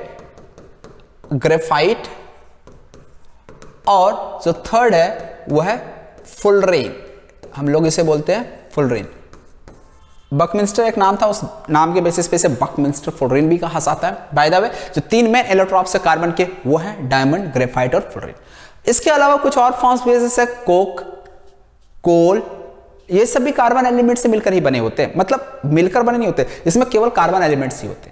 जैसे हम डायमंड की बात कर रहे हैं ग्रेफाइट फुलरेन ये सब एलोट्रॉप्स ऑफ़ कार्बन है। मतलब इसमें यदि आपसे पूछा जाए कौन से एलिमेंट प्रेजेंट है तो ये सारे डिफरेंट फॉर्म्स में इवन कोल वी कोक ये सारे में भी कार्बन ही होते हैं, लेकिन हम उसकी स्टडी नहीं करते, जो हमारे लिए ज़्यादा इंपॉर्टेंट है, वो ये तीन है, इसलिए हम लोग इस तीन की ही स्टडी केवल यहाँ पे करेंगे। तो ये जो सारे एलोट्रॉप्स दिख रहे हैं ना, इसमें केवल और केवल एक ही एलिमेंट्स प्रेजेंट होता है, वो है कार्बन ओनली कार्बन प्रेजेंट होते हैं। कार्बन के अलावा कोई दूसरा एलिमेंट यहाँ प्रेजेंट नहीं होता है। तो अब ये तीनों के तीनों क्या different forms of same element यानी तीनों के तीनों क्या है? Made of only carbon atom तीनों के तीनों किससे मिलकर बने हैं? केवल और केवल कार्बन एटम से मिलकर बने हैं। साथ ही साथ हैविंग डिफरेंट फ़िज़िकल प्रॉपर्टीज़ और इनका फ़िज़िकल प्रॉपर्टी की बात करा जाए तो बहुत डिफरेंट होते हैं। फ़िज़िकल प्रॉपर्टी का मतलब डायमंड डायमंड आपका वेरी हार्ड होता है। ग्रेफाइट आपका रिलेटिवली सॉफ्ट होता है। इसको यूज़ करते हैं as a lubricant because they can slide over each other ठीक है? उसके बारे में हम आगे बात करेंगे। और फुल रेन फुल रेन ना ही बहुत हार्ड होता है ना ही बहुत सॉफ्ट होता है। तो इसके फ़िज़िकल प्रॉपर्टीज़ होता है, वो डिफरेंट होते हैं डिफरेंट बिहेवियर शो करता है। ओके तो ये सारे इलेक्ट्रॉप से एक एक करके हम लोग तीनों का स्टडी हम लोग स्टार्ट करते हैं। सबसे पहले हम बात करेंगे डायमंड की। तो देखिए डायमंड में क्या होता है? डायमंड के स्ट्रक्चर की यदि हम बात करें तो डायमंड सबसे पहले made of only carbon atoms even तीनों इलेक्ट्रॉन्स होंगे, वो कार्बन से ही बना होता है केवल। तो डायमंड में क्या होता है? एक कार्बन आइटम ना, चार अदर कार्बन आइटम से जुड़ा होता है इन अ टेट्राहाइड्रल वे किस तरीके से? मतलब एक कार्बन आइटम चार कार्बन आइटम से जुड़ा in a tetrahedral way tetrahedral arrangement means each carbon atom is bonded to four other carbon atoms, four other carbon atoms tetrahedrally to form a, to form a 3D giant structure. बहुत important है ये। यानी यहाँ पे ये एक 3D giant structure का formation कर देता है। मतलब ये क्या हुआ? जैसे यहाँ पे क्या होता है, एक कार्बन आइटम आपका चार कार्बन आइटम से जुड़ा है। देखो, यदि इस कार्बन की बात करें तो ये कितने कार्बन जुड़ा है? एक, दो, तीन, चार। किस वे में? टेट्राहाइड्रल टेट्राहाइड्रल मतलब समझते हो? ट्राइपोड के शेप का। ठीक है ना? तो ये आपका टेट्राहाइड्रल होता है। मतलब टेट्राहाइड्रल मतलब समझ रहे हो ना? ट्राइपोड देखे हो? नहीं देखे उधर सर्च करना यार दिख जाएगा। तो उस वे में ये एक कार्बन आइटम चार अदर कार्बन आइटम से जुड़ा होता है। इवन ये यहाँ पे जो है ना कम खत्म नहीं होता ये इस, इसका सिक्वेंस ये कार्बन आइटम फर्दर चार कार्बन आइटम से जुड़ जाएगा। यानी ये कार्बन आइटम अगेन चार कार्बन आइटम जुड़ा एक इधर जुड़ा पहले से था एक दो एक, दो, तीन, एक, चार। यानी ये कार्बन आइटम फर्दर चार के साथ जुड़ गया। सेम वे में ये वाला कार्बन पहले से एक कार्बन से जुड़ा है, ये और फर्दर तीन के साथ जुड़ जाएगा। फिर ये ये भी आपका एक से पहले से जुड़ा है, तीन के साथ और जुड़ जाएगा।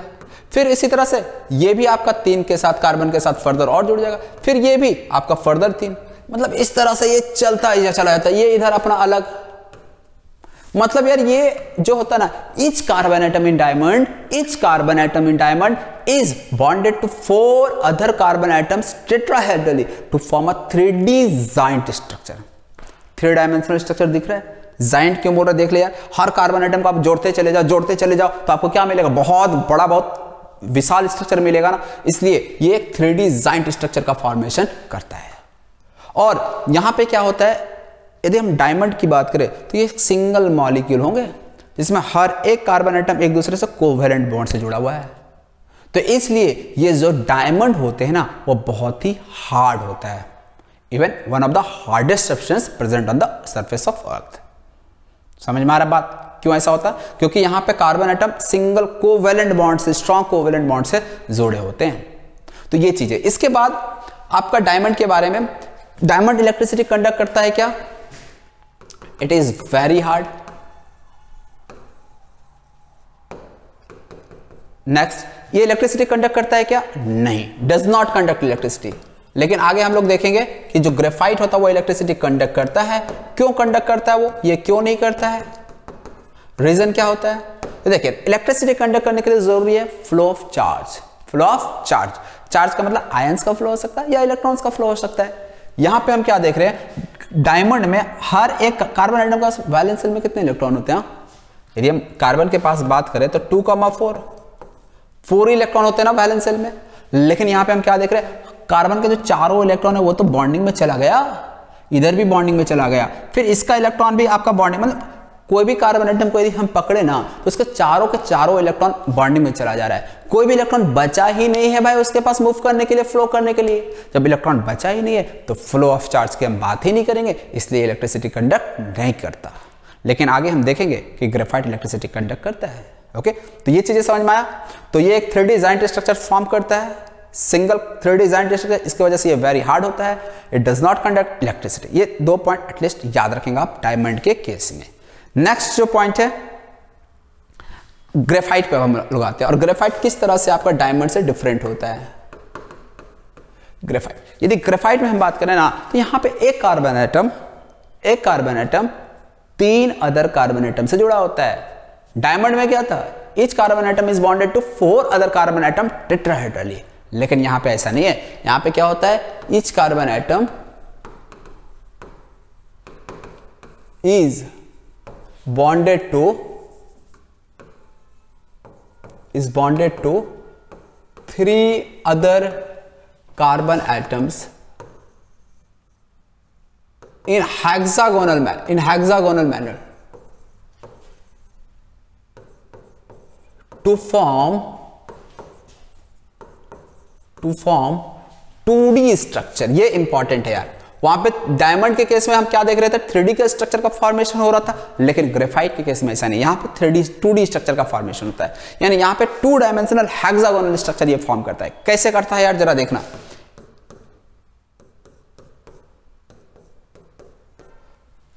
देखना यार।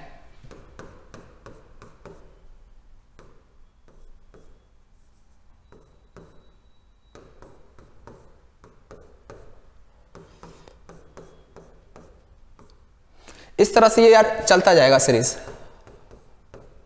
यानी कोई भी कार्बन एटम को आप देख लो, कोई भी कार्बन एटम को देख लो, मान लो हम इस कार्बन एटम को देखना चाहते हैं। ये कार्बन एटम आपका तीन कार्बन एटम से जुड़ा हुआ एक, दो, तीन।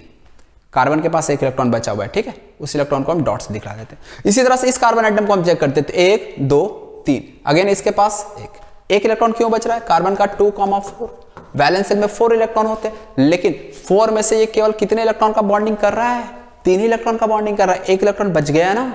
इसी तरह से यहाँ पे यदि देखो, इस कार्बन की बात करें तो एक, दो, तीन। तो इस तरह कोई भी कार्बन आइटम की आप बात करोगे तो वो थ्री अदर कार्बन आइटम से जुड़ा होता है। और ये देखो हेक्सागोनल वे में जुड़ा होता है। एक, दो, तीन, चार, पाँच, छह। सिक्स साइड है ना? सिक्स साइड मीन हेक्सागोनल तो इस तरह से ये एक फ्लैट स्ट्रक्चर बनाता है। फ्लैट टू स्ट्रक्चर बनाता है। ये बात समझ में आ रही? तो इस तरह से क्या होता है ना ग्रेफाइट में आपको लेयर्ड स्ट्रक्चर देखने को मिलेंगे। पहले मैं सारे पॉइंट्स को यहाँ पे एक साथ समराइज कर देता हूँ। Graphite has graphite has 2D flat structure ये क्या बनाता है आपका? 2D flat structure flat structure का मतलब समझ में आ रहा? बिल्कुल यार, यहाँ पे आपका टू डायमेंशनल फॉर्म होता है। इसमें कोई थ्री डायमेंशनल नहीं होता, जैसा कि डायमंड में हो रहा था। तो पहला चीज़ तो it has two D flat structure दूसरा पॉइंट अगेन इंपॉर्टेंट पॉइंट है it has layered structure layered structure का मतलब क्या है? लेयर्ड स्ट्रक्चर लेयर्ड स्ट्रक्चर का मतलब क्या है? यहाँ पे ग्रेफाइट जो होते हैं ना, ये डिफरेंट लेयर्स के फॉर्म में पाए जाते हैं। मतलब एक लेयर बना जब हम एक लेयर की बात करेंगे इसमें तो केवल और केवल हेक्सागोन के बहुत सारे मॉलिक्यूल्स होंगे, बहुत सारे हेक्सागोन्स लगे होंगे, और वो एक ही लेयर में लगे होंगे टू डायमेंशन में होंगे। फिर इसी तरह से ग्रेफाइट का एक सिमिलर लेयर बनेगा, लेकिन वो दूसरा लेयर बनेगा। फिर इसी तरह से उसके नीचे तीसरा लेयर चौथा लेयर पांचवा लेयर हर एक लेयर में आपके हेक्सागोनल रिंग ही रहेंगे केवल। ठीक है ना? हर एक लेयर में हेक्सागोनल रिंग रहेंगे। तो इस तरह से बहुत सारे लेयर्स बनते ग्रेफाइट में। तो इसलिए हम इसकी, इसमें लिखते हैं लेयर्ड स्ट्रक्चर और इंपॉर्टेंट बात जो है ना, यहाँ पे जो डिफरेंट लेयर स्ट्रक्चर मान लो एक लेयर ये, दूसरा लेयर ये। ये दो डिफरेंट लेयर के बीच में जो है ना, कोई कोवेलेंट बॉन्ड नहीं होता है। जैसे जब हम एक ही लेयर की बात करते हैं, इसी लेयर में यदि कार्बन कार्बन के बीच के यदि हम बॉन्डिंग की बात करें तो कार्बन कार्बन आइटम आपका किस बॉन्ड से जुड़ा है? कोवेलेंट बॉन्ड से जुड़ा है ना? लेकिन जब हम एक लेयर और दूसरे लेयर के बीच के बॉन्डिंग की बात करते हैं तो इसके और इसके बीच में कोई कोवेलेंट बॉन्ड प्रेजेंट नहीं होता है। फिर ये आपस में एक साथ कैसे जुड़े होते हैं? तो वहाँ पे भी एक फोर्स होता है, जो कि बहुत ही वीक फोर्स होता है, और उसका नाम होता है वैंडरवाल फोर्स और ये इतना वीक होता है कि हम लोग आसानी से ग्रेफाइट को अपने हाथों से तोड़ सकते हैं। जैसे पेंसिल लीड देखे हो ना? पेंसिल को आसानी से यार आप हाथ से तोड़ सकते हो कि नहीं? तो क्यों टूट जाता है? क्योंकि वहाँ पे जो डिफरेंट लेयर्स है ना ग्रेफाइट में, वो डिफरेंट लेयर्स के बीच जो फोर्स है, वो बहुत ही वीक फोर्स है। और उसी वीक फोर्स के कारण आप आसानी से तोड़ सकते हो। लेकिन डायमंड आपको दे दिया जाएगा और डायमंड को आप तोड़ पाओगे? नहीं। क्यों? क्योंकि इसमें कोई लेयर्ड स्ट्रक्चर थोड़ी ना होता है। उसमें तो भाई कार्बन एटम बस और बस कोवेलेंट बॉन्ड से जुड़ते चले जाते हैं। तो ऐसे में आप वहाँ पे बॉन्ड को तोड़ नहीं सकते हो। बात समझ में आई? तो इसलिए यहाँ पे अगेन एक important point different layers in graphite different layers in graphite different layers in graphite are are joined by weak van der Waal forces van der Waal forces यानी यहाँ पे जो डिफरेंट लेयर्स है ना ग्रेफाइट में, वो आपस में किस बॉन्ड से जुड़े हैं? वीक वंडरवॉल फोर्सेस फोर्स का नाम याद रखना यार, हो सकता है ऑब्जेक्टिव में वन मार्क्स क्वेश्चन पूछ दिया जाए। कौन सा फोर्सेस प्रेजेंट होते हैं? ओके और यही वजह है कि ये जो वीक वंडरवॉल फोर्सेस है ना due to this layer structure है। एक लेयर दो लेयर तीन लेयर चार लेयर और यहाँ पे डिफरेंट लेयर्स के बीच में वीक वैंडरवाल फोर्सेस प्रेजेंट है, इसलिए आसानी से एक दूसरे के ऊपर स्लाइड कर सकते हैं। और यही वजह है, इसको हम लोग as a dry lubricate use करते हैं। जैसे घिस जाता है ना, जब मोटरसाइकिल का पार्ट जब घिस जाता है तो वहाँ पर हम लोग ग्रीस डाल देते हैं ल्यूब्रिकेंट डालते हैं। तो वो ल्यूब्रिकेंट क्या करता है? थोड़ा सा उसको स्मूथ कर देता है और आसानी से वो फिर से वर्क करना प्रॉपरली स्टार्ट कर देता है। ठीक है? तो इसलिए due to weak van der Waal forces weak van der Waal forces weak van der Waal forces की वजह से different layers different layers writing यार थोड़ा अच्छा नहीं तो यार समझना थोड़ा। Different layers can slide over each other over each other and hence it is used as lubricant और इसलिए हम लोग इसको यूज़ करते हैं एज अ ल्यूब्रिकेंट इसका एक और अदर इंपॉर्टेंट एप्लीकेशन से यूज़ है। इसको हम लोग एज अ इलेक्ट्रोड भी यूज़ करते हैं। इलेक्ट्रोड मतलब भाई बैटरी से, यदि आपके पास कोई बैटरी है, उस बैटरी से आप किसी भी मेटल को या किसी भी चीज़ को बैटरी के टर्मिनल से कनेक्ट कर देते हैं तो उसको इलेक्ट्रोड कर देते हैं। मान लीजिए पेन है हमारे पास, इसी को यदि हम बैटरी के टर्मिनल से कनेक्ट कर दें, और यदि इलेक्ट्रिसिटी ये कंडक्ट करने लगे तो हम इसको इलेक्ट्रोड कर देंगे। यानी आपके पास कोई बैटरी है, बैटरी के दो टर्मिनल होंगे पॉजिटिव और निगेटिव जब किसी चीज़ को आप बैटरी के किसी भी टर्मिनल से कनेक्ट कर देते हो वो इलेक्ट्रिसिटी कंडक्ट करने लगे तो उसे हम इलेक्ट्रोड कर देते हैं। बात समझ में आया? इलेक्ट्रोड क्या होता है? तो हम लोग ग्रेफाइट को एज ए इलेक्ट्रोड यूज़ करते हैं। क्यों यूज़ करते हैं? यार, आप लोग बता सकते हो। It is use as electrode in different cells ठीक है ना? सिंपली बस इतना लिख दे it is use as electrodes क्यों यूज़ करें? Because graphite conduct electricity reason क्या है? बिकॉज़ इट कंडक्ट्स इलेक्ट्रिसिटी अच्छा अब बात आती है कि भाई इलेक्ट्रिसिटी कंडक्ट क्यों करता है? It conduct electricity due to due to reason क्या देंगे यार? Due to the presence of due to the presence of याद रखेंगे एक लाइन में due to the presence of free electrons यार ये वर्ड याद रखना due to the presence of free electrons ये फ्री इलेक्ट्रॉन्स की वजह से आपका ग्रेफाइट इलेक्ट्रिसिटी कंडक्ट करता है। अब इस चीज़ को आप यहाँ से देख सकते हो और समझ सकते हो। देखो यार कार्बन आइटम के पास चार इलेक्ट्रॉन था। एक, दो, तीन। चौथा इलेक्ट्रॉन आपका पड़ा था। इस कार्बन की यदि हम बात करें, एक, दो, तीन, ये चौथा इलेक्ट्रॉन पड़ा, किसी भी कार्बन की बात कर लो, एक, दो, तीन, चौथा इलेक्ट्रॉन इसके पास पड़ा हुआ। तो यहाँ पे किसी भी इलेक्ट्रॉन को फ्री इलेक्ट्रॉन कहा जा रहा है। और यदि ये फ्री है तो इलेक्ट्रॉन है भाई। एक जगह तो रहेगा नहीं, ये मूव करता रहेगा फ्लो करेगा। Flow of charge flow of electron is called electricity बात आई समझ में? तो यार ग्रेफाइट क्यों इलेक्ट्रिसिटी कंडक्ट करता? क्लियर है ये चीज़? चलिए यार गुड तो ये सारे इंपॉर्टेंट पॉइंट्स थे ग्रेफाइट के बारे में। तो आप लोग इसको यार ध्यान में रखेंगे ओके कुछ ज़्यादा छोटा हो जा रहा है यार, तुम लोग समझ लेना ओके ना? चलिए लास्ट जो थर्ड एलोट्रॉपिक फॉर्म्स है वो है फुल रेन ये जितने भी हम एलोट्रॉपिक फॉर्म्स की बात कर रहे हैं, ये केवल और केवल किससे बना है? ओनली कार्बन एटम से। कोई और दूसरा एलिमेंट प्रेजेंट नहीं ओनली कार्बन एटम से बने हुए हैं।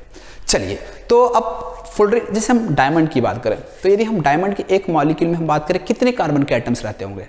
हुँ? तो डायमंड में कि एक मॉलिक्यूल में बहुत सारे कार्बन आइटम रहते हैं। क्यों? कार्बन आइटम जुड़ते चले जा रहे हैं भाई। जहाँ खत्म होने का नाम लिया, वहाँ फिर वो चार कार्बन आइटम के साथ जुड़ गया। फिर अगला वाला कार्बन चार फिर अगला वाला चार। खत्म होने का नाम ही नहीं दे रहा है। तो कितना कार्बन आइटम से जुड़ा होता है? इसकी गिनती कर पाना पॉसिबल नहीं है। बता रहे समझ में? तो इसीलिए कर सकते हैं गिनती। आगे वो आप पढ़ोगे भी कि भाई आपको यदि दिया गया 10 ग्राम 100 ग्राम डायमंड दिया है, उसमें कितने कार्बन के आइटम्स होंगे वो आप बता सकते हो कैलकुलेशन के। आगे की बात है वो सारी चीज़ें, ठीक है ना? बाय द वे बहुत होगा ये मैं कहना चाह रहा हूँ कि भाई डायमंड के एक मॉलिक्यूल की बात करें तो उसमें कार्बन के आइटम्स असीमित होंगे। तो ये चीज़ हो ग्रेफाइट में भी वो सेम वे में यार, एक लेयर्स की यदि हम बात करेंगे तो एक लेयर में कार्बन जोड़ते चला जाता है तीन अदर कार्बन आइटम से। और ये टू स्ट्रक्चर बना देता है, वो भी काफ़ी बड़ा हाँ अलग बात है डिफरेंट लेयर्स में फिर कोई बॉन्डिंग नहीं होता, कोई कोवलेंट बॉन्ड प्रेजेंट नहीं होता डिफरेंट लेयर्स के बीच में। लेकिन थर्ड वाला जो फॉर्म है ना फुल रिंग ये थोड़ा सा अलग हो जाता है इस मामले में। इसमें क्या होता है, इसके एक मॉलिक्यूल में ना, यदि हम सिंगल मॉलिक्यूल फुल रिंग की बात करें तो इसमें generally C thirty C forty five C sixty ही कार्बन आइटम होते हैं। यानी इसमें एक limited number of carbon atom होते हैं, इसका सिंगल मॉलिक्यूल में, एक मॉलिक्यूल में। एक मॉलिक्यूल का मतलब समझ, जैसे ऑक्सीजन ऑक्सीजन के एक मॉलिक्यूल में दो ही आइटम होते हैं ओ टू डाई कहते हैं। नाइट्रोजन के एक मॉलिक्यूल में दो ही आइटम होते हैं। फॉस्फोरस टेट्रा एटॉमिक होते हैं, यानी फॉस्फोरस के एक मॉलिक्यूल में चार एटम मतलब फॉस्फोरस का जो मॉलिक्यूल है ना, वो चार फॉस्फोरस एटम से मिलकर बना होता है। नाइट्रोजन का जो मॉलिक्यूल है, वो नाइट्रोजन के दो एटम से मिलकर बना होता है। ऑक्सीजन का जो मॉलिक्यूल है ना, वो ऑक्सीजन के दो एटम से मिलकर बना होता है। सल्फ़र का क्या? हुँ? हम्म? इसी को हम लोग क्या नाम देते हैं? एटॉमिसिटी यानी सल्फ़र का एटॉमिसिटी एट है means one molecule of sulphur will contain eight atoms of sulphur समझ में आ रहा?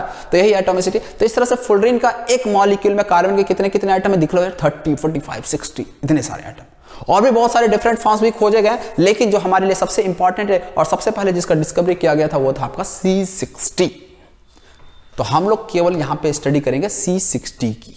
एक मॉलिक्यूल में कार्बन के कितने आइटम है? 60 जिसमें जो फुलरिन का यदि हम स्ट्रक्चर की बात करें ना तो इसमें आपके कुछ हेक्सागोनल रिंग्स परसेंट होते और कुछ पेंटागोनल रिंग्स परसेंट होते। और इसका जो शेप होता है ना, आपका फुलरिन का जो शेप होता है, वो आपको फुटबॉल शेप का होता है।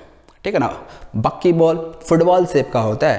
तो इसमें आपके कुछ हेक्सागोनल रिंग्स होते। हैं कितने हेक्सागोनल रिंग्स होते हैं, वो भी मैं लिख दे रहा हूँ। ये भी याद रखेंगे भाई।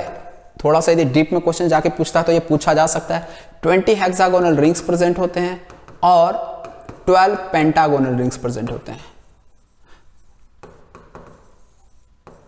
ठीक है?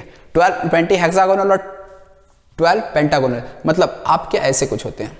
हेक्सागोनल पेंटागोनल हम्म तो इस तरह से यार हम्म। ओके ना?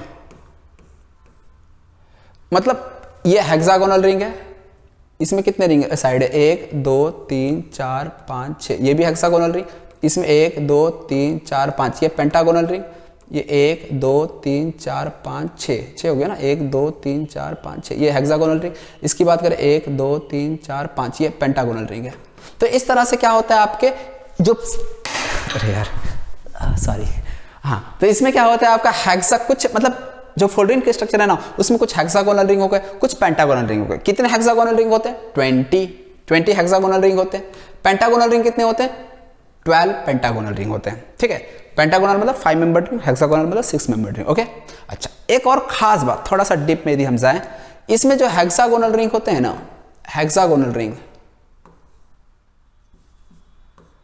हेक्सागोनल रिंग्स इसमें हेक्सागोनल रिंग्स जो होते हैं, वो केवल और केवल आपके सॉरी केवल केवल बोल रहे हेक्सागोनल रिंग्स आपके हेक्सागोन से भी और पेंटागोन से भी अटैच होते हैं। Means it is attach to both it is attach to both hexagon H and pentagon P मैं शॉर्ट में लिख दिया H and P same way में जो आपका पेंटागोनल रिंग होता है ना pentagonal rings it is attach only with only with hexagonal ring ये खास बात है। यानी जो पेंटागोनल रिंग मान लो ये पेंटागोनल रिंग है ना, ये केवल और केवल हेक्सागोनल रिंग से जुड़े होंगे। पेंटागोनल रिंग किसी दूसरे पेंटागोनल रिंग से डायरेक्टली अटैच नहीं होंगे। इसका मतलब ये हुआ कि ये पेंटागोनल है ना तो इधर भी हेक्सागोन होगा, इधर भी हेक्सागोन इधर भी जो आएगा हेक्सागोन इधर भी हेक्सागोन चारों तरफ़ से ये हेक्सागोन रिंग से ही घिरा होगा। लेकिन जो हेक्सागोनल रिंग है ना, वो आपका हेक्सागोनल से भी पेंटागोनल से भी अटैच हो सकता है, जैसे यहाँ पे देख सकते हो। हेक्सागोनल से जुड़ा इधर पेंटागोन इधर पेंटागोन इधर हेक्सागोन यानी हेक्सागोनल रिंग आपका पेंटागोन हेक्सागोन दोनों से जुड़ा हो सकता है, लेकिन जो पेंटागोनल रिंग होता है it is only attach with हाइड्रोस hexagonal ring ये एच मतलब हेक्सागोनल है पी का मतलब पेंटागोनल है, समझ लेना ओके ना? चलिए, ये ना ही बहुत हार्ड होता, ना ही बहुत सॉफ्ट होता है और it is generally a dark solid at room temperature at room यानी एक डार्क कलर का सॉलिड होता है रूम टेम्परेचर पर ना ही बहुत हार्ड होता है, ना ही बहुत सॉफ्ट होता है, ठीक है? तो ये कुछ इंपॉर्टेंट जो एलोट्रॉप्स ऑफ़ कार्बन था, उसको हम लोग यहाँ पे देख लिए। तो यार इंपॉर्टेंट है डायमंड ग्रेफाइट और फुलरिंस इसके बारे में सारे डिटेल्स हमने यहाँ पे डिस्कस कर दिया। अब हम लोग नेक्स्ट जो है मूव करेंगे कंपाउंड्स ऑफ़ कार्बन पे। सो कि सबसे इंपॉर्टेंट पार्ट होता है इस चैप्टर का। तो चलिए यार, आप लोग को स्क्रीनशॉट लेना है ले लो आप लोग। तो अब हम लोग आगे कार्बन के इंपॉर्टेंट कंपाउंड्स के बारे में स्टडी करने वाले हैं। तो जो नेक्स्ट स्टडी है अपना कंपाउंड्स ऑफ़ कार्बन तो सबसे पहले कंपाउंड्स ऑफ़ कार्बन में हम लोग ऑर्गेनिक कंपाउंड्स के बारे में बात कर लेते हैं। कंपाउंड्स ऑफ़ कार्बन सबसे पहले यार ऑर्गेनिक कंपाउंड्स क्या होता है? इस चीज़ को समझ लेते हैं। तो देखो यार, बहुत बार आप सुनेगा ऑर्गेनिक कंपाउंड्स इनऑर्गेनिक कंपाउंड्स क्या होता है आखिरकार ऑर्गेनिक कंपाउंड्स किस तरह से हम ऑर्गेनिक कंपाउंड्स की पहचान करेंगे? जैसे मान लीजिए आपको यार कुछ मॉलिक्यूल्स दिए हुए कुछ कंपाउंड्स दिए, आपको पहचानना है, इसमें से कौन ऑर्गेनिक होगा, कौन इनऑर्गेनिक होगा? जैसे सी एच फोर दिया है एच टू ओ दिया है सी ओ टू दिया है C six H twelve O six glucose दिया है।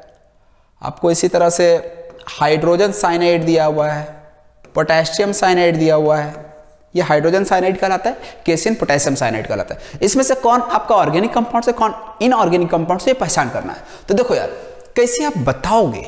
कैसे बताओगे? तो देखो यार ऑर्गेनिक कंपाउंड्स क्या होता है ना? Compounds containing compounds containing at least one carbon and one hydrogen बात समझ में ऐसे कोई भी कंपाउंड जिसमें एक कार्बन एक हाइड्रोजन आइटम दिख जाए दैट मीन्स वो आपका ऑर्गेनिक कंपाउंड हो जाएगा। कंडीशन क्या याद रहेगा? One carbon one hydrogen atom बस ये कंडीशन याद रखना है आपको। तो यहाँ पे एक कार्बन हाइड्रोजन कार्बन हाइड्रोजन दोनों दिख गया मीन्स ऑर्गेनिक कंपाउंड है। H2O क्या ऑर्गेनिक कंपाउंड होगा? जरा बताओ। तो यहाँ पे हाइड्रोजन तो है ऑक्सीजन है। कार्बन थोड़ी ना है। जब कार्बन नहीं है तो ऑर्गेनिक नहीं हुआ। ऑर्गेनिक लिए कार्बन भी होना हाइड्रोजन भी होना। CO2 कार्बन तो है हाइड्रोजन नहीं दिख रहा है ऑर्गेनिक नहीं होगा। दोनों का होना ज़रूरी है। ग्लूकोज ऑर्गेनिक है। हाइड्रोजन साइनाइड हाइड्रोजन भी है कार्बन भी है। होगा। पोटेशियम साइनाइड नहीं होगा। क्यों? पोटेशियम कार्बन नाइट्रोजन हाइड्रोजन तो है ही नहीं। बात समझ में आ गया? ऑर्गेनिक इनऑर्गेनिक को कैसे पहचान करते हैं? ये सारे ऑर्गेनिक है। जो क्रॉस है, ये ऑर्गेनिक नहीं हुए तो इसको हम क्या कहते हैं? इनऑर्गेनिक इनऑर्गेनिक कंपाउंड्स वो कंपाउंड्स हैं which are not organic compounds so simple okay तो अब देखिए आगे। आगे, जो ऑर्गेनिक कंपाउंड्स होता है ना, कोई भी ऑर्गेनिक कंपाउंड की हम बात करेंगे तो वो मेनली दो चीज़ से मिलकर बना होता है। किसी भी ऑर्गेनिक कंपाउंड्स में दो मेन पार्ट होते हैं। ऑर्गेनिक कंपाउंड्स में दो पार्ट होते हैं। कौन कौन सा पार्ट होता है? एक आपका हाइड्रोकार्बन पार्ट होगा, और दूसरा आपका पार्ट होता है फंक्शनल ग्रुप तो अब पहले हम लोग इसमें दूसरा पार्ट कौन सा होता है? फंक्शनल ग्रुप होता है। तो पहले हम लोग ये हाइड्रोकार्बन पार्ट और फिर एक फंक्शनल ग्रुप दोनों को समझ लेते तो अब आपको समझ में आ जाएगा कोई भी ऑर्गेनिक कंपाउंड क्या होता है। तो हाइड्रोकार्बन पार्ट हम लोग किसको कहते हैं? तो नाम से यार पता चल रहा होगा, नाम क्या बोल रहा है? हाइड्रोकार्बन पार्ट मतलब ऐसे कंपाउंड जिसमें ऑनली कार्बन ऑनली हाइड्रोजन हो। उसे हम हाइड्रोकार्बन का देंगे। यानी compounds containing only compounds containing only carbon and hydrogen. यानी ऐसे कंपाउंड जिसमें केवल कार्बन, केवल हाइड्रोजन है, उसे हम लोग क्या कह देंगे? हाइड्रोकार्बन। फंक्शनल ग्रुप क्या होता है? फंक्शनल ग्रुप को डिफाइन कैसे करते हैं? तो इसको हम अलग से डिफाइन कर लेंगे। पहले हम हाइड्रोकार्बन को समझ लेते हैं, ठीक है ना? चलिए अच्छा फर्दर जो हाइड्रोकार्बन है, ये आपके तीन टाइप के हो सकते हैं। हाइड्रोकार्बन आपके तीन टाइप के हो सकते हैं। कौन कौन सा टाइप है? अच्छे से समझ लेना। यहाँ से आपका मेन जो पार्ट है ना, वो स्टार्ट होता है। ठीक है? बी केयरफुल तो आपके तीन मेन पार्ट कौन से कौन से? एल्केन दूसरा वाला पार्ट जो है वो एल्कीन और तीसरा वाला जो पार्ट है वो है आपका एल्काइन तो देखो, इसमें एन इन और आइन आ रहा है। यदि कहीं एन है तो ये आपका सैचुरेटेड हाइड्रोकार्बन होता है। और ये दोनों के दोनों आपके कहलाते हैं अनसैचुरेटेड अनसैचुरेटेड और अल्काइन भी क्या होता है आपका? अनसेचुरेटेड मतलब जहाँ सिंगल बॉन्ड कार्बन कार्बन के बीच में सिंगल बॉन्ड होगा, उसे हम लोग सैचुरेटेड कह देंगे। और जहाँ कार्बन कार्बन के बीच कार्बन कार्बन के बीच में डबल या ट्रिपल बॉन्ड आ जाए, वो अनसेचुरेटेड का एग्जांपल हो जाता है। मतलब सैचुरेटेड हम लोग किसको कहेंगे? जहाँ कार्बन कार्बन सिंगल बॉन्ड के रूप में हो। अनसेचुरेटेड का मतलब क्या हो जाता है? डबल बॉन्ड हो या कार्बन कार्बन के बीच में ट्रिपल बॉन्ड हो। ये दोनों अनसेचुरेटेड कहलाते हैं। गॉट इट तो चलिए, यहाँ पे फ़िलहाल डबल बॉन्ड आएगा और यहाँ पे आपका ट्रिपल बॉन्ड होता है अल्काइन के केस में। यहाँ तक तो समझ में आ गया सैचुरेटेड अनसैचुरेटेड तो सेचुरेटेड हाइड्रोकार्बन में ओनली एल्केन्स आते हैं अनसेचुरेटेड हाइड्रोकार्बन में एल्किन भी आते हैं और एल्काइन भी आते हैं। इसके बाद हम लोग इसका जनरल फार्मूला की भी बात कर लेते हैं यहीं पे। जनरल फार्मूला इसका क्या लिखेंगे? एल्केन का। तो एल्केन का जनरल फार्मूला होता है C N H two N plus two alkene का general formula C N H two N जबकि अल्काइन का general formula C N H two N minus two अब जरा समझना यार यहाँ पे। जैसे हम इसके कुछ एग्जांपल्स लेते हैं, ठीक है? कार्बन यदि हम वन ले ले तो हाइड्रोजन कितना हो जाएगा? फोर एन का वैल्यू वन पुट करो। एन यदि हम वन ले रहे हैं तो सी वन एच एन की जगह पे वन पुट करो तो two plus two four C H four हो गया। इसी तरह से यदि कार्बन टू ले रहे हैं तो एच कितना हो जाएगा? जरा काउंट करके बताओ। तो सी टू एच कितना हो गया? टू टू जा four plus two six C three ले लिए। देखिए यार हाइड्रोजन का जो नंबर है ना टू एन इसको डबल करो और उसमें दो ऐड कर दो। टू एन प्लस टू तो यहाँ पे कार्बन थ्री लिया ना थ्री का डबल करो सिक्स उसमें टू ऐड कर दो सिक्स टू एट यानी C three H eight C four यदि एन का वैल्यू फोर ले ले रहे हैं एन का वैल्यू फोर लिए तो एच कितना हो जाएगा? फोर टू जा एट प्लस टू डबल करके दो ऐड कर दो। तो फोर है फोर का double eight eight plus two ten इसी तरह से आप इसको और आगे लेते जा सकते हो। सी फाइव एच कितना होगा? बता बता। एच कितना होगा? फाइव का डबल करो। टेन टेन प्लस टू समझ में आ रहा बात? किस तरह से यार फॉर्मूला हम लिख रहे हैं? तो यदि कोई भी कंपाउंड इस फॉर्मूला में आपका फिट बैठता है तो वो कंपाउंड एल्केन होगा सेचुरेटेड हाइड्रोकार्बन होगा। बात आई समझ में? चलिए एल्किन का फॉर्मूला का हम बात कर लेते हैं। इसमें एन का वैल्यू टू से ही स्टार्ट होता है। वन से स्टार्ट नहीं हो सकता है। इसके सी टू एच का वैल्यू कितना हो जाएगा? एन का वैल्यू हम टू लिए हुए ना तो टू लेंगे तो एच कितना हो गया? फोर इसमें हाइड्रोजन का जो नंबर है ना कार्बन का जस्ट डबल होगा। सी थ्री तो एच कितना हो जाएगा? तो जस्ट डबल थ्री है तो उसका डबल कर दो six C four H eight C five H ten यानी जस्ट डबल कर देना हाइड्रोजन को। बस, बात खत्म। यानी यदि कहीं आपको हाइड्रोजन का नंबर कार्बन से जस्ट डबल दिख रहा है कार्बन का डबल दिख रहा है दैट मीन समझ जाना यार वो एल्कीन है। और लास्ट कैटेगरी आपका अल्काइन इसका एग्ज़ाम्पल की बात करते हैं यहाँ पे। इसमें भी आपका दो कार्बन से स्टार्ट होता है सी टू एच कितना हो जाएगा यहाँ पे? जरा सोचो। तो इसमें टू एन पहले तो डबल करना है और माइनस टू कर देना इसमें हम टू एन डबल करके दो ऐड कर रहे थे। इसमें डबल ही कर रहे थे हाइड्रोजन को। इसमें हाइड्रोजन के लिए क्या कर रहे डबल करके दो माइनस कर दे रहे तो देखना यार हाइड्रो टू है ना? तो एच कितना हो गया? टू टू जा फोर माइनस टू टू ही बचा। सी थ्री ले लिए तो एच कितना होगा? तो थ्री का डबल करो थ्री टू जा सिक्स टू माइनस कर दो। थ्री टू जा सिक्स सिक्स में से टू माइनस कर दिया फोर बचा। सी फोर ले लिए तो एच कितना होगा? तो फोर का डबल कितना होता है? Eight eight minus two six C five ले लिए तो एच कितना हो जाएगा? तो फाइव का double ten ten minus two eight समझ मारा तो एल्केन एल्किन और एल्काइन पहचान कर लोगे ना, इसका स्ट्रक्चर भी बनाना अभी हम सिखाएँगे। तो एक काम करते हैं हम लोग कुछ हम कंपाउंड्स का फॉर्मूला यहाँ लिखेंगे। आपको उसमें से पहचानना कैटेगराइज करने के यार कौन एल्केन है, कौन एल्किन है और कौन अल्काइन है ओके तो यहाँ पे आइडेंटिफाई एक क्वेश्चन टाइप में हो गया। Identify alkane alkene and alkyne जैसे C ten H twenty C fifteen H thirty two C fourteen H twenty six C twenty H forty two C six H twelve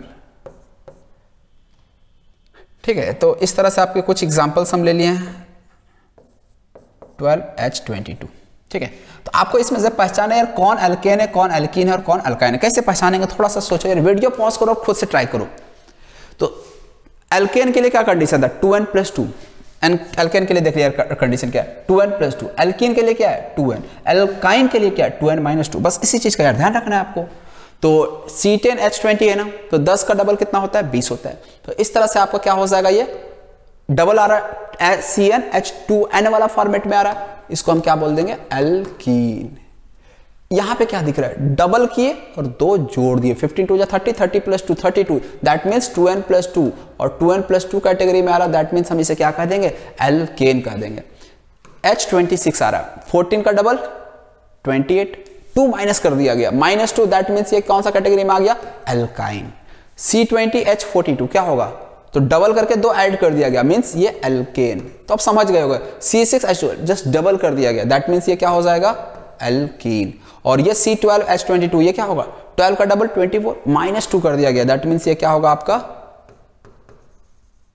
alkyne यानी आपको यदि कोई formula लिख कर दे दिया जाए ना तो वहाँ से तुम पहचान सकते हैं यार कौन एल्केन है, कौन एल्कीन है और कौन एल्काइल है। एल्काइन है। समझ में अच्छा एक इंपॉर्टेंट टर्म इसी में आपको बार बार यूज़ होता हुआ दिखेगा। एल्काइल ग्रुप एल्काइल ग्रुप इसे डिनोट करा जाता है आर से। क्या होता है एल्काइल ग्रुप मान लीजिए आपके पास कोई एल्केन है, जब एल्केन में से आप एक हाइड्रोजन निकाल लेते हो ना तो आपको मिल जाता है एल्काइल कहने का क्या मतलब है? जैसे एल्केन एल्केन का जनरल फॉर्मूला क्या होता है? C N H two N plus two अब आपने एक हाइड्रोजन एक हाइड्रोजन भाई, एक से ज़्यादा नहीं, एक हाइड्रोजन निकालना है। एक हाइड्रोजन निकालोगे तो C N H two N plus two था ना, क्या बचेगा? टू एन प्लस वन बचेगा। तो यहाँ पे एल्केन से क्या मिल गया आपको? एल्काइल ग्रुप अब एग्ज़ाम्पल के तौर पर यदि मान लीजिए सी एच फोर है नाम पता है सी एच फोर का? नाम नहीं पता तो अभी नेक्स्ट पार्ट वही आने वाला नोमिन तो वहाँ पे बताएँगे अभी नाम कैसे लिखते हैं।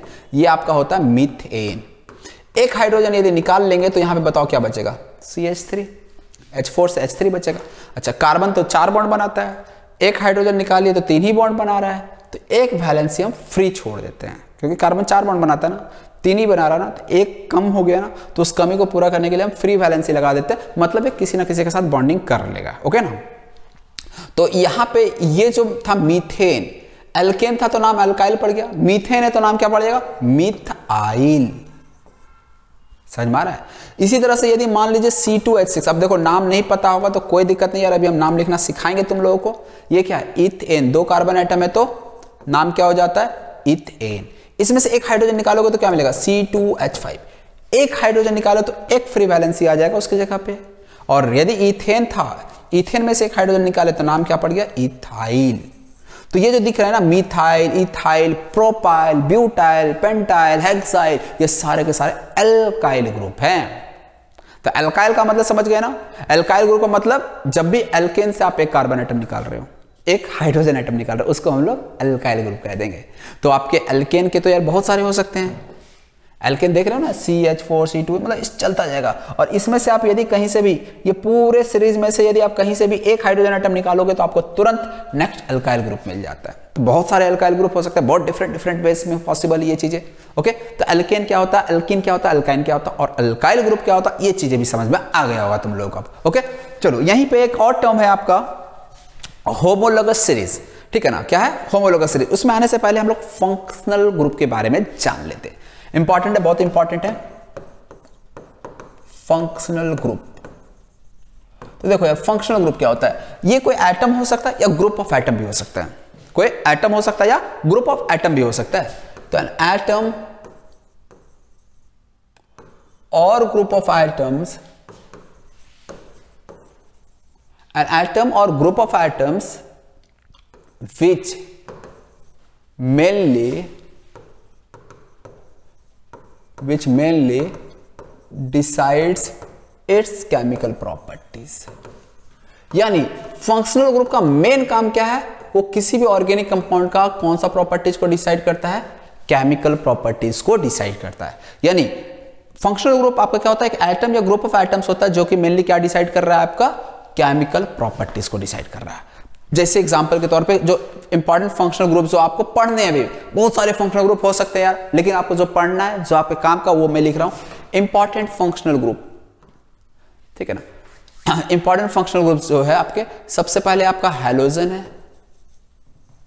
हेलोजन में क्या आता है? फ्लोरीन क्लोरीन ब्रोमीन आयोडीन यह हेलोजन फैमिली कहलाता है। फ्लोरीन क्लोरीन ब्रोमीन आयोडीन दूसरा फंक्शनल ग्रुप एल्कोहल ये हम डिनोट करते ओ एच से।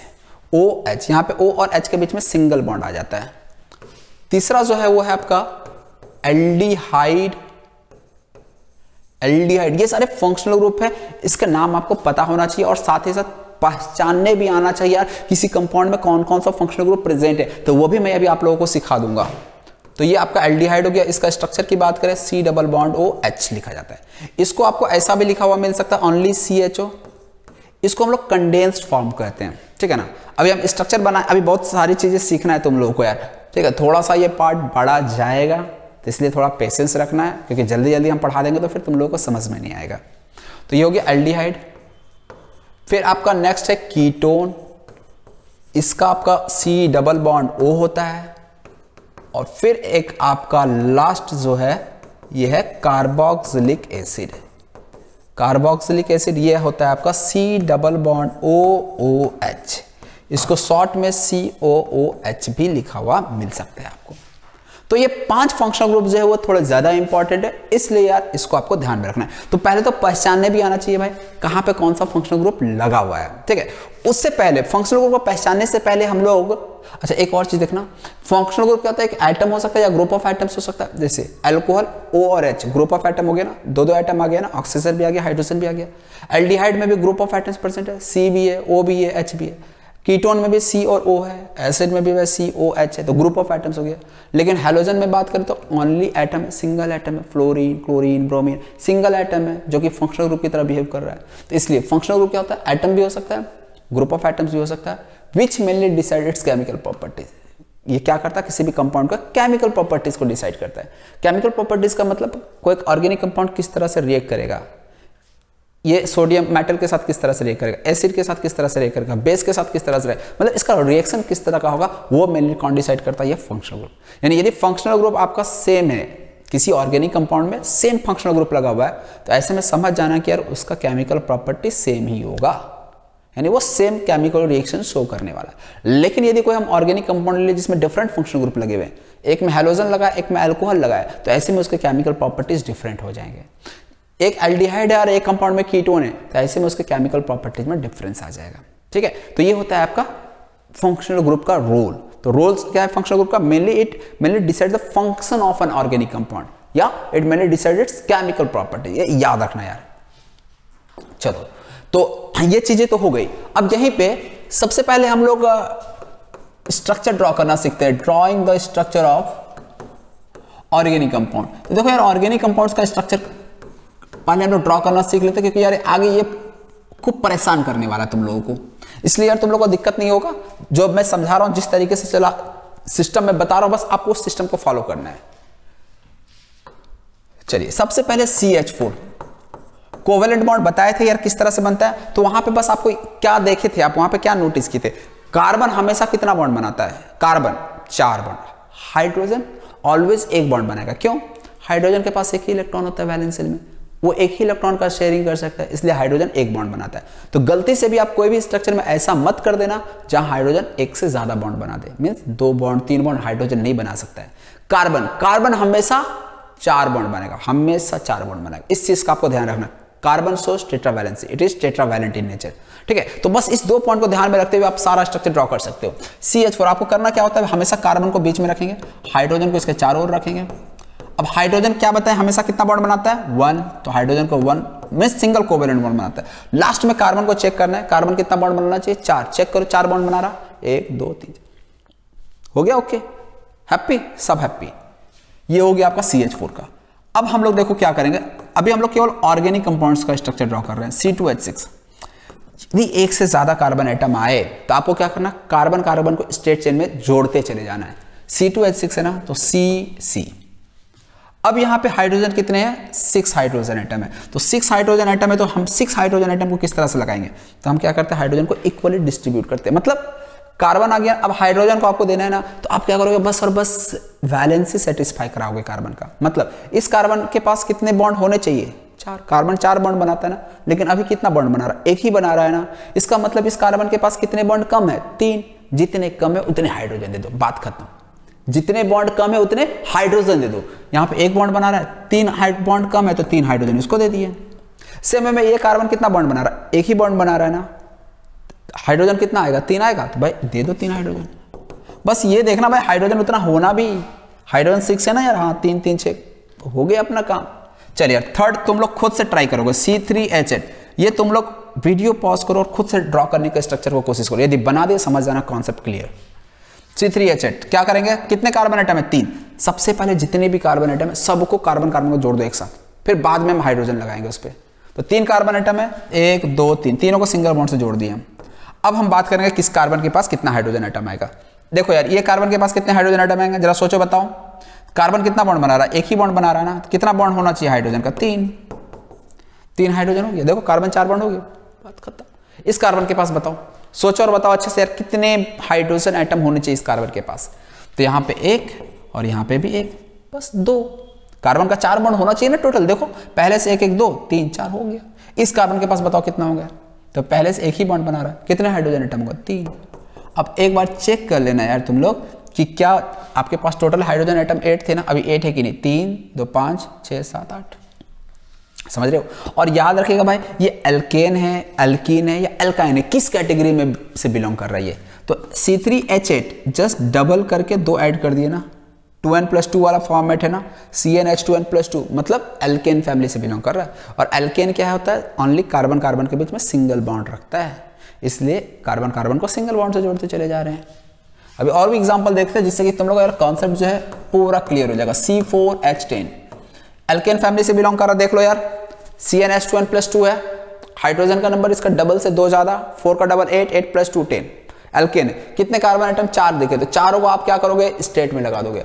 अब आप लोग खुद से सोचना, इस कार्बन के पास कितने हाइड्रोजन इसके पास इसके पास इसके पास कितने हाइड्रोजन आइटम आएँगे? सोचो, इस कार्बन के पास कितने हाइड्रोजन आइटम आने चाहिए? तो कार्बन एक ही बॉन्ड बना रहा है ना? कितने हाइड्रोजन आइटम आने चाहिए? तीन, एक, दो, तीन। इस कार्बन के पास दो, क्यों? कार्बन एक बॉन्ड इधर बना रहा है एक बॉन्ड इधर। दो बॉन्ड बना दिया, इसका मतलब दो कम पड़ा हाइड्रोजन तो दो। बस कार्बन का टेट्रा वैलेंस ध्यान में रखना और कुछ नहीं सोचना है आपको। यहाँ पे कार्बन एक और एक दो, इधर एक आएगा और इधर भी एक आएगा। हो गया? इधर की बात करें, एक एक एक। तो इस तरह से आपका एक, दो, तीन, चार, पाँच, छह, सात, आठ, नौ, दस। बताइए समझ में? तो इस तरह से आपका C4H10 का स्ट्रक्चर बन अब तुम लोग यार कोई भी स्ट्रक्चर देंगे तो तुम लोग बना देना चाहिए। तुम लोग को कोई दिक्कत नहीं आना चाहिए। मान लीजिए फॉर एग्जांपल हम C6H12 H14 का स्ट्रक्चर दिए। क्या करोगे? छह कार्बन आइटम दिख गया। छह को स्टेट में लगा दो। एक, दो, तीन, चार, पाँच छः अब हाइड्रोजन देख लो भाई कहाँ कितना आएगा। इसके कार्बन के पास कितने हाइड्रोजन आइटम आना चाहिए? तीन। तो तीन लगा दिए। अब वो तीन एग्ज़ाम में आया था भाई, तुम लोग इस तरह से हाइड्रोजन लगाना। ठीक है ना? भाई दबा ऐसे भी लिख सकते कोई गलती नहीं है। इस कार्बन के पास कितने हाइड्रोजन आइटम आएँगे? हुँ? दो। क्यों? पहले से दो बॉन्ड बना रहा है। इस कार्बन के पास पहले से एक बॉन्ड एक दो बॉन्ड बना रहा है, दो हाइड्रोजन इस कार्बन के पास भी दो, इसके पास भी दो, इसके पास तो ये सी सिक्स एच फोर्टीन का स्ट्रक्चर हो जाएगा। तो अभी जितने भी हम लोग स्ट्रक्चर देख रहे थे, वो सबके सब एल्केन थे। एल्केन दिख रहे सबके सब C N H two N plus two वाला फॉर्मेट था। तो इसलिए एल्केन का स्ट्रक्चर बनाना बड़ा आसान। चलिए यार, हम कुछ मॉलिक्यूल्स देख लेते हैं एल्किन और एल्काइन के, और उसका स्ट्रक्चर किस तरह से बनाते हैं। चलिए, अब हम एल्किन का स्ट्रक्चर की बात कर लेते हैं, ठीक है? तो एल्किन का, देखो C2H4 देखो CnH2n याद है? इसका फॉर्मूला क्या होता है? C N H two N यानी हाइड्रोजन का नंबर यदि कार्बन से जस्ट डबल दिख जाए तो समझ जाना वो एल्कीन के कैटेगरी में बिलोंग करेगा। हाँ तो दो कार्बन आइटम है है ना? अब देखो यार कार्बन दो है और हाइड्रोजन आपके पास चार ही है तो आप क्या करोगे? एल्कीन के कैटेगरी में है, इसका मतलब कार्बन कार्बन के बीच डबल बॉन्ड होगा। तो यहाँ पे हम डबल बॉन्ड लगा दिए। अब आपको देख लेना भाई कहाँ कितने हाइड्रोजन आइटम है। बात खत्म। इस कार्बन के पास कितने हाइड्रोजन आइटम आने चाहिए? बताओ जरा सोच कर बताना। कार्बन पहले से कितना बॉन्ड बना रहा? दो ही बना रहा है ना? एक इधर एक इधर, दो बना रहा है। इसका मतलब कितने हाइड्रोजन आइटम आएँगे? दो। अब देखिए, ये हाइड्रोजन आइटम इधर इधर लिख दो या एक को इधर, एक को इधर लिख दो या एक को इधर, एक को इधर लिख दो। कहीं भी लिख दो यार, कोई फ़र्क नहीं पड़ता। ये नहीं कि सर इधर और इधर लगाना ज़रूरी है क्या? ऐसा कोई ज़रूरी नहीं है। इसके पास कितने हाइड्रोजन आइटम आएँगे? तो ये भी दो ही बॉन्ड बना रहा है भाई। ये दो बॉन्ड जो है, दोनों के लिए कॉमन है। ये भी दो बॉन्ड बना रहा है। इस कार्बन के लिए भी ये दो बॉन्ड कॉमन है। इसलिए मत कंफ्यूज होना कि, सर, आप इधर भी इसको काउंट कर रहे हो, उधर भी काउंट कर रहे हो। भाई शेयरिंग से बन रहा है ना कोवेलेंट बॉन्ड तो इसलिए दोनों के लिए काउंट होगा ये दो बॉन्ड तो इसलिए एक हाइड्रोजन इधर, एक हाइड्रोजन इधर आ जाएगा। आई बात समझ में? चलिए नेक्स्ट वाला एग्ज़ाम्पल वीडियो पॉज करके यार तुम लोग खुद से कोशिश करोगे। C three H six alkene है कि नहीं यार? चेक करो। तो तीन कार्बन एटम और हाइड्रोजन जस्ट डबल बिल्कुल है यार। तो तीन कार्बन एटम लगा दो तीन कार्बन एटम एल्किन फैमिली से बिलोंग करा दो। एक जगह डबल बॉन्ड आएगा। आ गया भाई। अब बताना इस कार्बन के पास कितने एटम होंगे हाइड्रोजन के। तो कार्बन दो बॉन्ड बना रहा है डबल बॉन्ड तो दो हाइड्रोजन एटम होंगे। इस कार्बन के पास जरा सोच कर बताओ कितने आइटम होंगे हाइड्रोजन के। तो दो और एक तीन तीन बॉन्ड बना रहा यानी कितने हाइड्रोजन आइटम होंगे? एक। इस कार्बन के पास एक ही बॉन्ड बना रहा है कितना हाइड्रोजन आइटम आएगा? सोच यार। तीन। कार्बन चार बॉन्ड बनाना चाहिए। बस काम खत्म यार। इसी तरह से आ, एक और स्ट्रक्चर देख लो यार C four H eight C four H eight का स्ट्रक्चर क्या होगा चार, सबसे पहले यार जितने भी ऑर्गेनिक कंपाउंड दिख जाए, आपको कार्बन जितने दिख जाए, सारे कार्बन को स्ट्रेट चेन से जोड़ देना है। पहला काम तो ये करना है। इसके बाद हम हाइड्रोजन और बाकी चीज़ों के बारे में बाद में सोचते हैं। तो ये C four H eight alkene family से बिलोंग कर रहा है। Two n plus, just hydrogen का नंबर डबल है कार्बन का। C n H two n format में है एल्किन है। एल्किन है तो डबल बॉन्ड होगा कार्बन कार्बन के बीच। डबल बॉन्ड कहाँ आ जाएगा? यहाँ पे भी, यहाँ पे भी लगा सकते थे तुम लोग। तो हमने यहाँ पे लगा दिया। वहाँ पे भी लगा के बना देंगे। ठीक है ना? पहले ये वाला देख लो। इसके पास कितने हाइड्रोजन आइटम आएँगे? जरा सोच कर बताना। तो डबल बॉन्ड है तो दो हाइड्रोजन आइटम आ जाएगा। इस कार्बन के पास कितने हाइड्रोजन आइटम आ जाएँगे? तो देखो, दो, तीन। यानी ये कार्बन तीन बॉन्ड बना रहा है पहले से। दो इधर, एक इधर, तीन। यानी कितने हाइड्रोजन आइटम आएँगे? समझ में आ रहा है? इस कार्बन के पास बताइएगा। तो एक एक, दो। ये हो गया तीन, ये हो गया चार। समझ में आ रहा ये कार्बन के पास बताइएगा, इस कार्बन के पास कितने हाइड्रोजन आइटम आएँगे? जरा सोचो और बताओ। तो देखो यार, ये एक, दो और ये बात समझ में आई? अच्छा इसी को हम लोग ऐसा भी बना सकते थे। डबल बॉन्ड यहाँ रख देते भाई। यदि यहाँ डबल बॉन्ड रख देते, तुम लोग खुद से कोशिश करो किस कार्बन के पास कितने हाइड्रोजन आइटम होने चाहिए। इस कार्बन के पास कितने होंगे? एक, दो, तीन। क्यों? कार्बन एक ही बॉन्ड पहले से बना रहा था। तीन हाइड्रोजन आइटम रख दिए सी एस थ्री चार बॉन्ड हो गया कार्बन का। इस कार्बन के पास बताओ कितने हाइड्रोजन आइटम आएँगे? तो दो और एक तीन। पहले से तीन बॉन्ड बना रहा है एक हाइड्रोजन आ जाएगा। इसके पास दो, एक, तीन, एक ही हाइड्रोजन आएगा। इसके पास एक ही बॉन्ड बना रहा है तो इसके पास तीन हाइड्रोजन आइटम आएँगे। बात आई समझ में? अच्छा ये भी सी फोर एच का स्ट्रक्चर सही, ये भी सही स्ट्रक्चर है। दोनों के दोनों स्ट्रक्चर सही है। आगे एक टर्म आएगा, बताएँगे उसके बारे में। ये C four H eight C four H eight ये दोनों फॉर्म्स आपके मॉलिकुलर फार्मूला तो दोनों का सेम है। काउंट कर लो भाई सी फोर एच एट ये भी है सी फोर एच एट ये भी है। तो दोनों का मॉलिकुलर फार्मूला सेम है, लेकिन दोनों का स्ट्रक्चर सेम है क्या? हुँ? हम्म?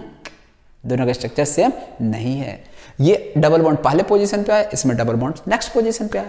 तो ऐसे forms which have same molecular formula but have different structures are called isomers तो यदि पूछ दिया जाए कि भाई इनके बीच में क्या रिलेशन है? These two are related as तो याद रखेंगे यार these two are related as isomers isomers क्या होते हैं? आइसोमर्स ऐसे कंपाउंड होते हैं which have same molecular formula but have different structures अभी हम और भी एग्जांपल लेंगे आइसोमर्स की ओके ना?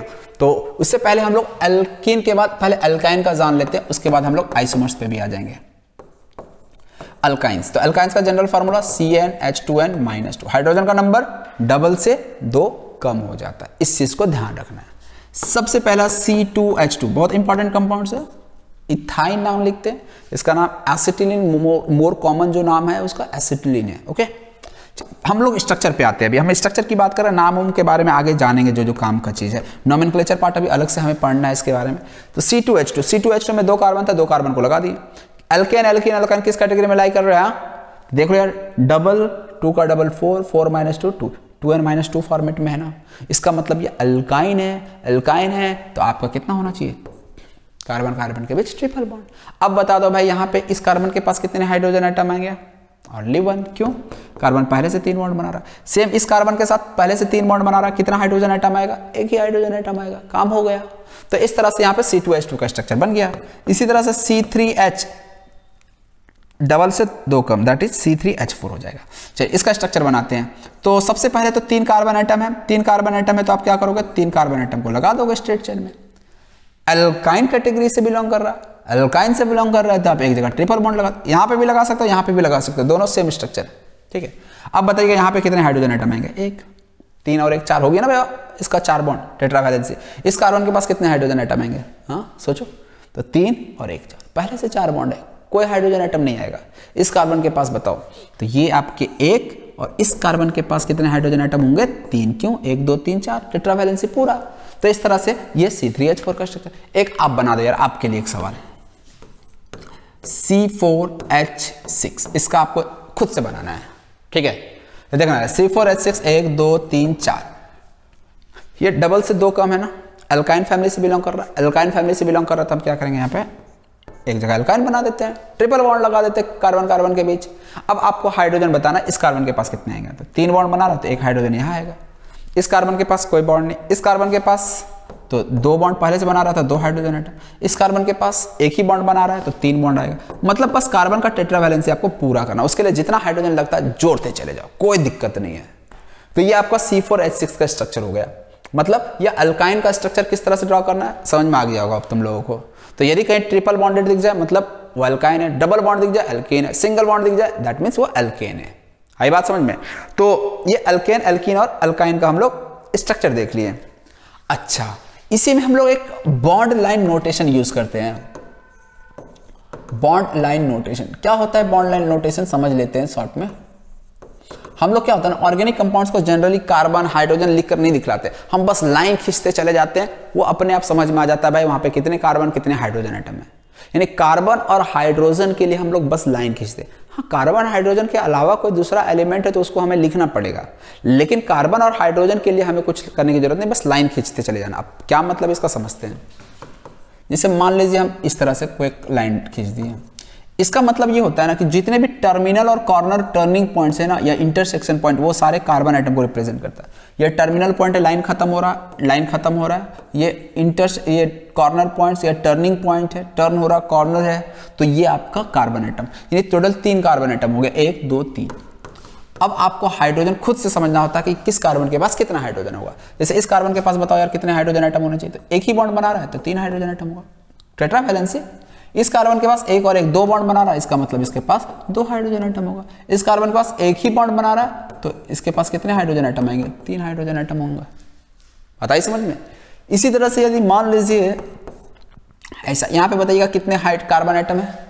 तो एक, दो, तीन, चार। कितने कार्बन आइटम है? चार। चार है तो एक, दो, तीन, चार। हाइड्रोजन आइटम बताना यार जरा कितना आ जाएगा इस कार्बन पे? तो देखो, एक ही बॉन्ड बना रहा है तो तीन हाइड्रोजन इसके पास दो, इसके पास दो, इसके पास तीन। बस कार्बन का टेट्रा वैलेंसी आपको पूरा करना और कुछ नहीं करना यार, बड़ा ही सिंपल हो चुका है अब। जैसे ये है, मान लीजिए, जरा सोचना और बताना यहाँ पे कितने कार्बन आइटम जरा सोच कर बताना यार। एक, ये इंटरसेक्शन पॉइंट भी आपका कार्बन आइटम होता है। दो, तीन, चार, पाँच तो हो गया है। एक, दो, तीन, ऊपर चार, नीचे पाँच। यहाँ पे कितने हाइड्रोजन आइटम आएँगे? बताओ यार जरा सोचकर। तो एक बॉन्ड बना रहा तो तीन हाइड्रोजन यहाँ पे भी एक बॉन्ड बना रहा तो तीन हाइड्रोजन आइटम यहाँ पे भी तीन हाइड्रोजन आइटम यहाँ पे भी तीन। इस कार्बन के पास कितने हाइड्रोजन आइटम होंगे? ज़ीरो क्यों? कार्बन ऑलरेडी पहले से चार बॉन्ड बना रहा है, इसलिए यहाँ पे कोई भी हाइड्रोजन आइटम नहीं होगा।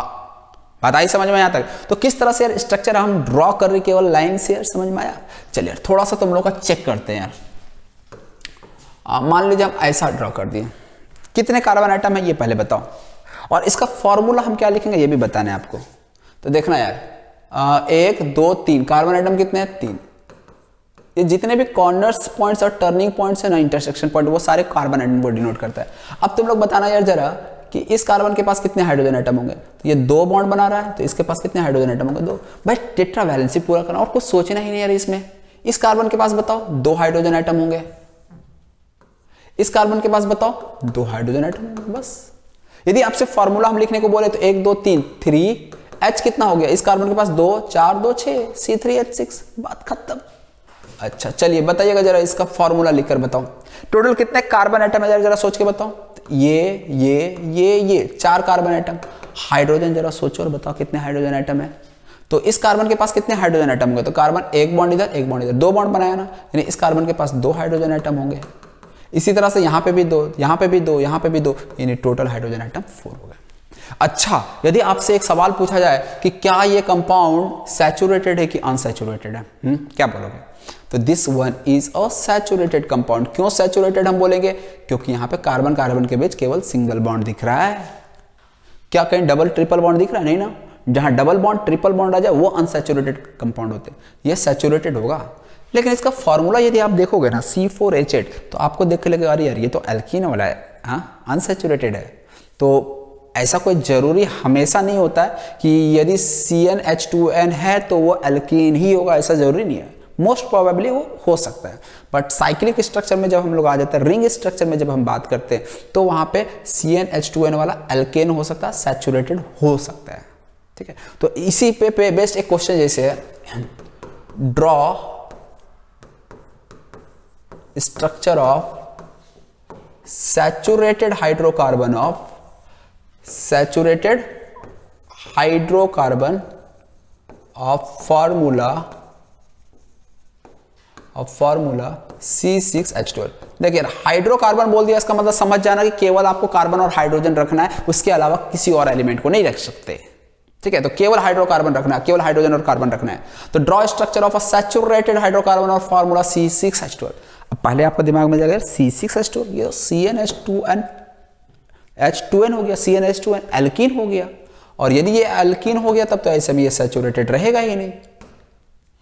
और हमें सैचुरेटेड ड्रॉ करना है यार फिर भी। तो ऐसे में समझ जाना, ये एल्किन है इसका मतलब एल्कीन ये एल्केन है सैचुरेटेड है ये वाला कंपाउंड इसका मतलब रिंग स्ट्रक्चर बनेगा। तो आप क्या करोगे सिंपली सी सिक्स छः कार्बन आइटम है ना तो छः कार्बन आइटम को रिंग में रख दो। एक हेक्सागोन बना दो भाई। देखो, एक, दो, तीन, चार, पाँच छः छः कार्बन आइटम हो गया। हाइड्रोजन बात कर लो, कितना हो गया? तो यहाँ पे भी दो हाइड्रोजन इधर भी दो दो दो दो। टोटल कितने हो गए? सी तो यही वो स्ट्रक्चर है सी सिक्स एच ट्वेल्व का, जो कि एक सैचुरेटेड हाइड्रोकार्बन है। तो हो सकता है थोड़ा सा ट्विस्ट करके क्वेश्चन पूछ दिया जाए। अच्छा क्वेश्चन से तो स्ट्रक्चर तुम लोग को ड्रॉ करने आ गया हुआ यार। अब मुझे ऐसा लगता है। डबल बॉन्ड ट्रिपल बॉन्ड को किस तरह से दिख रहा था ये एक मैं एग्जांपल के हेल्प से बता देता हूँ। जैसे मान लीजिए, ऐसा है। इसमें सबसे पहले यदि आपसे पूछा जाए कितने कार्बन आइटम है तो क्या बोलोगे? तो एक, दो, तीन, चार। चार कार्बन आइटम है। एक, दो, तीन, चार। और ये जो दिख रहा है ना, ये ये आपका कार्बन और कार्बन के बीच में डबल बॉन्ड को रिप्रेजेंट कर रहा है। बताइए समझ में। तो यहाँ पे कितना हाइड्रोजन आइटम होगा? तीन। यहाँ पे दो और एक तीन। पहले से तीन बॉन्ड बना रहा है। कितना हाइड्रोजन आइटम होगा? एक। यहाँ पे दो, एक, तीन। एक हाइड्रोजन आइटम यहाँ पे एक ही बॉन्ड बना रहा है। तीन हाइड्रोजन आइटम बस। यदि मान लीजिए ऐसा रहेगा तो यहाँ पे कितने कार्बन आइटम है यहाँ पे? तो एक, दो, तीन, चार। ये भी चार कार्बन आइटम है। और ये जो दिख रहा है ये ये क्या रिप्रेजेंट कर रहा है? ट्रिपल बॉन्ड को रिप्रेजेंट कर रहा है। हाइड्रोजन यहाँ पे कितने हाइड्रोजन आइटम होगा? थ्री इस कार्बन के पास कितने हाइड्रोजन आइटम आएँगे? तो तीन और एक चार? नहीं। इस कार्बन के पास एक और इधर तीन तीन और एक चार। इसके पास भी हाइड्रोजन इसके पास बताना जा जरा यार, एक बॉन्ड इधर से आया तो यहाँ पे आपका तीन आएगा। तो इस तरह से यह आपका मतलब कि एल्काइन को इस तरह से बॉन्ड लाइन नोटेशन में दिखलाया जाता तो डबल बॉन्ड ट्रिपल बॉन्ड बस दो लाइन खींच दिया डबल बॉन्ड तीन लाइन खींच दिया गया एक ही जगह पे तो ट्रिपल बॉन्ड हो जाता। इस चीज़ को थोड़ा सा ध्यान रखना यार। ओके तो चलो यार, ये बॉन्ड लाइन नोटेशन भी समझ गए। एल्केन एल्कीन और अल्काइन का स्ट्रक्चर कैसे ड्रॉ करते हैं? एल्केन एल्कीन अल्काइन को हम कैसे पहचानते हैं? ये सारा चीज़ आप लोग सीख चुके हो। ओके तो आगे हम लोग जो नेक्स्ट मूव करने वाले हैं, वो नॉमन पार्ट पे मूव करने वाले which is very very important तो आप लोग को स्क्रीनशॉट लेना हो तो ले लो।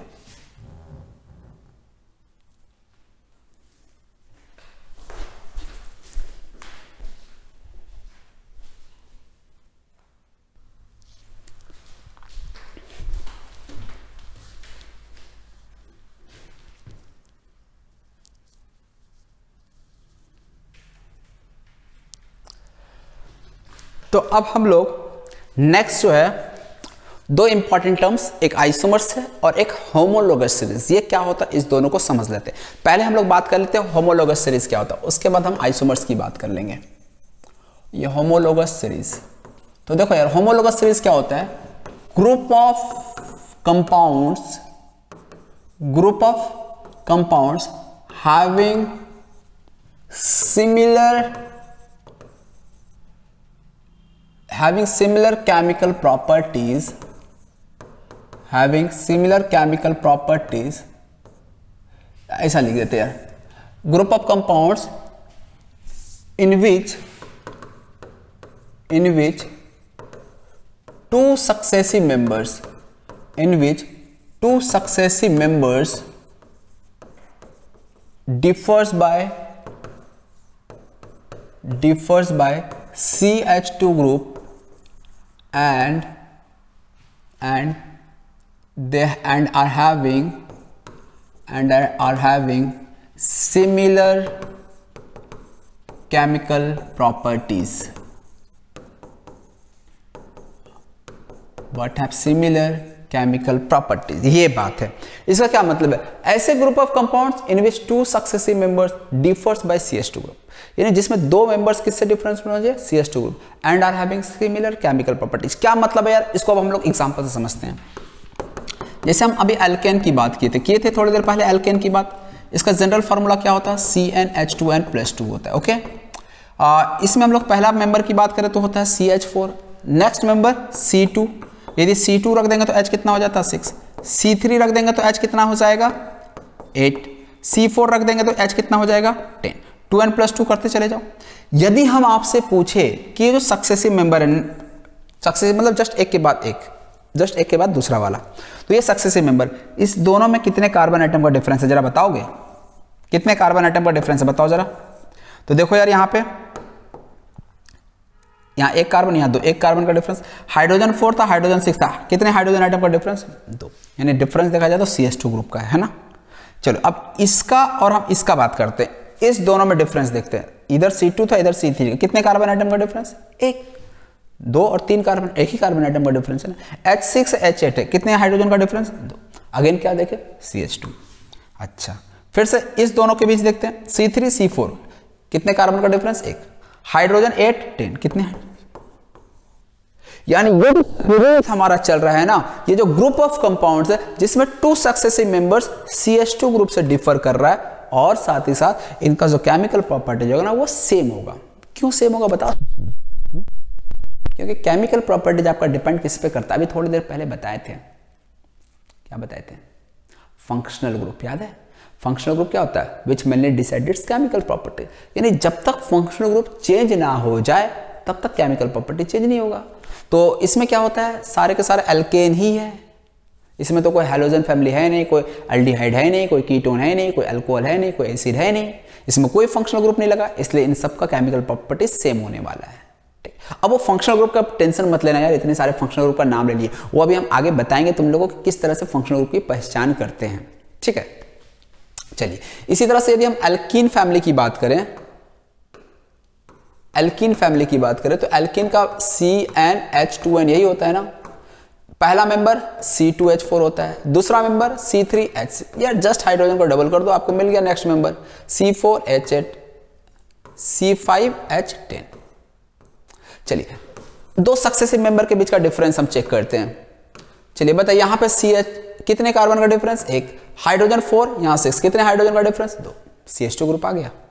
इन दोनों के बीच का देखते हैं। सी थ्री सी फोर कितने कार्बन आइटम का डिफरेंस एक। हाइड्रोजन सिक्स एट कितने हाइड्रोजन का डिफरेंस दो। सी एच टू का डिफरेंस फिर इस दोनों के बीच देखते हैं। सी फोर सी फाइव कितने कार्बन आइटम का डिफरेंस एक। हाइड्रोजन एट यहाँ टेन कितने हाइड्रोजन का डिफरेंस दो। सी एच टू का डिफरेंस पता ही समझ में। तो इस तरह से यहाँ पे हम हर जगह क्या देख रहे हैं कि इसमें जो सक्सेसिव मेंबर्स है they only differ by C H two group और सबके सब एल्कीन है। एल्कीन का मतलब सिंगल बॉन्ड डबल बॉन्ड या ट्रिपल बॉन्ड क्या रहा होगा? डबल बॉन्ड रहा होगा। ठीक है ना? एल्किन में डबल एल्काइन में ट्रिपल बॉन्ड होता है। तो अगेन ये सारे कंपाउंड्स ऐसे हैं in which two successive members differ by C two group and they all are having same chemical property hence this forms a homologous series of alkene ये alkane का homologous series है, या alkene का। इसी तरह से चलो हम एल्काइन का भी लिख लेते हैं। एल्काइन का general formula C n H two n minus two हो जाता है। पता है ना यार तुम लोगों को? तो इसमें C2 पहला मेंबर C2H2 होता है, दूसरा मेंबर C3 इसका डबल करके दो कम कर दो, बन गया अल्काइन थ्री का डबल सिक्स सिक्स में टू कम कर दो फोर सी फोर डबल करके दो कम कर दो तो फोर का double eight eight minus two six इस तरह से C five H eight difference देखो तो सी टू सी थ्री एक कार्बन एटम का डिफरेंस आया एच टू एच फोर कितने हाइड्रोजन एटम का डिफरेंस आया? दो। इस दोनों के बीच का बात कर लेते हैं। सी थ्री सी फोर कितने कार्बन आइटम का डिफरेंस एक. हाइड्रोजन फोर सिक्स कितने हाइड्रोजन का डिफरेंस दो. इसी तरह से यहाँ C four H six C five H eight कितने कार्बन का डिफरेंस एक. हाइड्रोजन सिक्स एट कितने हाइड्रोजन का डिफरेंस इस तरह से सी एच टू हो गया. तो यहाँ पे अगेन हम क्या देख रहे हैं? Two successive members differs only by C H two group तो again this forms a homologous series of alkyne तो इस तरह से आप होमोलोगस सीरीज़ का मतलब समझ गए होंगे. याद रखेगा होमोलोगस सीरीज़ का केमिकल प्रॉपर्टी सेम होता है। But they may differ in physical properties physical properties जो है ना, वो डिफरेंट हो सकता है। Okay okay? तो इस चीज़ का ध्यान रखना। होमोलोगस सीरीज़ अल्कोहल में भी बन सकता है अल्डिहाइड में भी कीटोन में भी एसिड में भी बन सकता है बट उतना आपको जानना नहीं है। बस नॉर्मली जो होमोलोगस सीरीज़ है एल्केन एल्किन और अल्काइन इसका लिखने आना चाहिए आपको। Okay okay? चलिए, एक टॉपिक नेक्स्ट जो टॉपिक हमारा बच रहा है, वो है फंक्शनल ग्रुप पहले फंक्शनल ग्रुप क्या होता है? इस चीज़ को स्क्रीन शॉट लेना है और ले लो तुम लोग। ठीक है? चलिए, अब जो एक टॉपिक बचा आइसोमर इसके बाद हम लोग डायरेक्ट एंटर कर देंगे नोमिनक्लेचर पार्ट में, ठीक है? तो उसके लिए हम एक अलग से पार्ट बना देंगे, ठीक है ना? क्योंकि नोमिनक्लेचर और जितने भी केमिकल प्रॉपर्टीज़ हैं उसको हम एक अलग वीडियो में डिस्कस कर देंगे, क्योंकि लेक्चर फिर काफ़ी बड़ा हो जाएगा, ठीक है? और एक ही लेक्चर में यदि हम चाहते कि सब कुछ पढ़ा दे तो फिर बहुत फास्ट हो जाता, या फिर हमको बहुत सारी इंपॉर्टेंट चीज़ें स्किप करना पड़ जाता। इसलिए हम इस वीडियो को दो पार्ट में बना रहे हैं ओके ना? ताकि आपको हर एक चीज़ अच्छे से समझ में आइसोमर्स क्या होता है? तो आइसोमर्स ऐसे कंपाउंड्स होते हैं, ऐसे कंपाउंड्स होते हैं compounds having same molecular formula compounds having same molecular formula but have but have different structures but have different structures क्या मतलब है यार इसका हम्म एग्ज़ाम्पल समझते हैं हम जैसे लिए C2H6 ओके C2H6 में कितने कार्बन आइटम दिख रहे हैं दो दो कार्बन आइटम को लगा दिए हाइड्रोजन किस कार्बन के पास कितना होगा? जरा बताओगे? एक ही कार्बन बॉन्ड बना रहा है ना? तो सी एच थ्री ये भी कार्बन आपका एक ही बॉन्ड बना रहा है, इसके पास भी एक ही तीन हाइड्रोजन आइटम आएँगे। सी टू एच सिक्स का स्ट्रक्चर बन गया ना? कोई दिक्कत तो नहीं? नहीं। अच्छा क्या आप इस सी टू एच सिक्स का कोई दूसरा स्ट्रक्चर बना सकते हो? मॉलिकुलर फार्मूला सेम रहना चाहिए। मतलब जितने कार्बन आइटम है, दो हाइड्रोजन चाहिए। वो चेंज नहीं होना चाहिए। Number of carbon atom number of hydrogen atom same रहना चाहिए। सेम मॉलिकुलर फार्मूला होना चाहिए बट हैव डिफरेंट स्ट्रक्चर आप क्या इसको अलग तरीके से बना सकते हो? C S three C S three क्या ये दोनों सेम है कि डिफरेंट स्ट्रक्चर से हाँ? तो ये दोनों आपके सेम ही है, बस इसको आप ऐसे कर दिए इसको ऐसे खड़ा कर दिए इसको हम डिफरेंट स्ट्रक्चर नहीं बोलते हैं, ठीक है? तो इसलिए यहाँ पे आपके आइसोमर्स नहीं बनेंगे। सी टू एस सिक्स का आइसोमर्स नहीं बनता है। इसी तरह से यदि हम सी थ्री एच एट ले ले तो क्या सी थ्री एच एट के आइसोमर्स बन सकते हैं? जरा सोचो। तीन कार्बन आइटम है ना एक, दो, तीन लगा दिए। अब हाइड्रोजन देख लो कहाँ कितना है। यहाँ पे तीन हाइड्रोजन अब वो तुम लोग यार जान गए हो, ठीक है ना? अब हम समझ गए? तुम लोग थोड़ा होशियार बच्चे हो तो हम हाइड्रोजन लिख देंगे। तुम लोग समझ जाना यार कहाँ कितने हाइड्रोजन आइटम होंगे। तो तीन कार्बन आइटम क्या इसको हम डिफरेंट स्ट्रक्चर के फॉर्म में लिख सकते हैं हाँ? कुछ बच्चा बोल सकता है, सर, हम ऐसा करते हैं ना C H three C H two ये जो सी एच थ्री ग्रुप है ना, इसको इधर नीचे लटका देते हैं। हुँ? हम्म? क्या ये नया स्ट्रक्चर बन गया? कि वही स्ट्रक्चर ये है? तो ये दोनों स्ट्रक्चर आपका सेम है। समझ रहे? तो ये दोनों स्ट्रक्चर सेम है, इसलिए हम इसको भी बोलेंगे, ये आइसोमर शो नहीं कर रहा। डिफरेंट स्ट्रक्चर बनना चाहिए। अब देखो डिफरेंट स्ट्रक्चर अब हम समझाते क्या होता है। जैसे अब हम नेक्स्ट एग्ज़ाम्पल की बात करते हैं। सी फोर एच टेन इसमें जरा देखना। एक, दो, तीन, चार। अब यहाँ पे तीन हाइड्रोजन आइटम आएगा, यहाँ दो आएगा, यहाँ दो आएगा, यहाँ पे तीन। अब इवन हम हाइड्रोजन आइटम ना भी लिखे ना तो तुम लोग समझने का आदत डालो कि कहाँ कितना हाइड्रोजन आइटम आएगा। क्योंकि अब बार बार एक, एक ही चीज़ को अपने को रिपीट करना हो जाता है। तो ये एक फॉर्म अभी बना अब देखना इसका डिफरेंट स्ट्रक्चर हम कैसे बना सकते हैं। एक दो तीन। अब चौथा कार्बन आइटम को हम ऐसा यदि लिख देंगे तो क्या डिफरेंट स्ट्रक्चर बन गया? ना ये कार्बन आइटम को यहाँ पे लगाने के बजाय यहाँ पे लटका दिया सी एस थ्री ग्रुप को।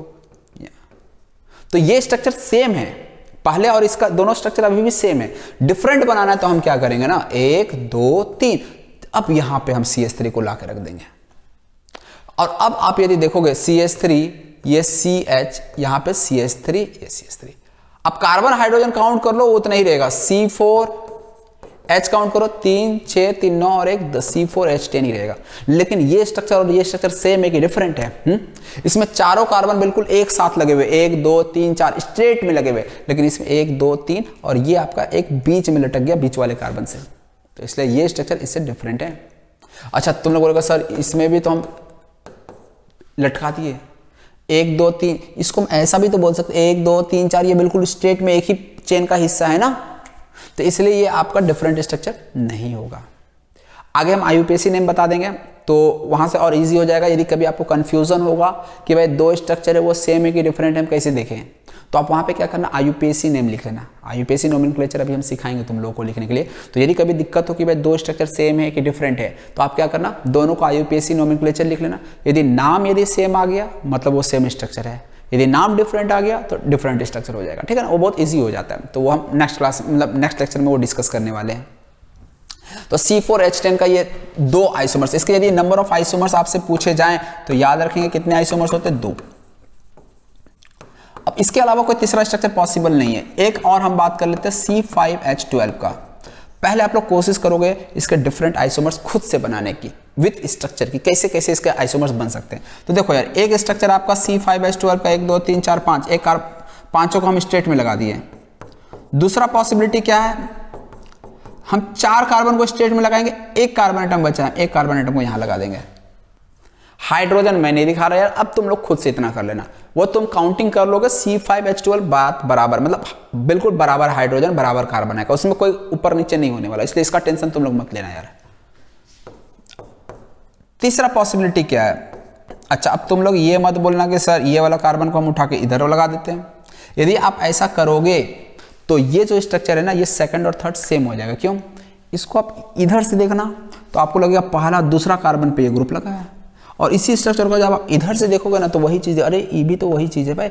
हम बस इसको इधर से देखना पड़ रहा है, हमको इसको इधर से देखना पड़ रहा है। तो इसीलिए ये जो स्ट्रक्चर है, वो नया स्ट्रक्चर नहीं है, ये दोनों सेम स्ट्रक्चर है। तो हम इसलिए इस स्ट्रक्चर को दोबारा नहीं बनाएँगे। गॉट इट अच्छा तो फिर अब इसका क्या, कोई और पॉसिबल स्ट्रक्चर है? हाँ। अभी एक, दो, तीन, चार, पाँच। पहले पाँच कार्बन स्ट्रेट चेन में लगे थे। फिर चार कार्बन एटम स्ट्रेट चेन में लगे हुए हैं। ये आपका ब्रांच है। और अब हम लोग तीन कार्बन को स्ट्रेट चेन में लगाएँगे। अब हमारे पास बच गए दो कार्बन एटम तो दो कार्बन एटम को हम कुछ इस तरह से लगा सकते हैं। बस। देखो, ये वाला स्ट्रक्चर आपका डिफरेंट है कि नहीं? इसमें हम दो दो कार्बन को इसी बीच वाले कार्बन को ऊपर नीचे लगा दिए। तो ये बाकियों से डिफरेंट है। अच्छा यदि हम बात करें इसमें हाइड्रोजन की तो देखो यार, एक मैं दिखा देता हूँ। अब ये हाइड्रोजन तीन तीन क्यों आ रहा देख लो यार तुम लोग। इस कार्बन के पास कोई हाइड्रोजन एटम नहीं होगा। यदि हम कार्बन के नंबर की बात करें तो पाँच कार्बन तो दिख ही रहा है। हाइड्रोजन कितना होगा? काउंट करो। तीन, चार छः नौ, तीन, बारह। तो सभी का बारह होगा। तो सी फाइव एच ट्वेल्व के कितने डिफरेंट आइसोमर्स बने? तीन। तो यार, इस चीज़ को आप याद रखेंगे और साथ ही साथ प्रैक्टिस भी कर लेंगे यार, तीन आइसोमर्स क्यों हुआ और कैसे हुआ। बहुत बार बनाने को क्वेश्चन दे दिया जाता है कि draw the structure of three isomers of C five H twelve तो यार, फिर बनाने आना चाहिए स्ट्रक्चर ओके तो इसलिए केवल रटने से भी काम नहीं होगा, समझना पड़ेगा हर चीज़ों को तुम लोगों को अब। तो चलो यार, ये आइसोमर्स पार्ट हो गया। इसके बाद हम लोग फंक्शनल ग्रुप पहचानना और नोमेन पार्ट जो है, और उसके बाद chemical properties of organic compounds ये सारी चीज़ें अब हम लोग नेक्स्ट लेक्चर में डिस्कस करने वाले हैं, ठीक है? क्योंकि लेक्चर ऐसे में बहुत बड़ा हो जाएगा तो फिर आप लोग को बोर लगेगा, इसलिए हम एक नेक्स्ट पार्ट में बना देंगे, ताकि यार थोड़ा सा हर एक चीज़ को बहुत डिटेल में हम डिस्कस कर सकें, तुम्हें भी अच्छे से हर चीज़ समझ में आए, ओके? तो चलिए यार, फिर मिलते हैं नेक्स्ट पार्ट में नेक्स्ट डे ओके? फ़िलहाल के लिए यार bye bye and have a nice day to all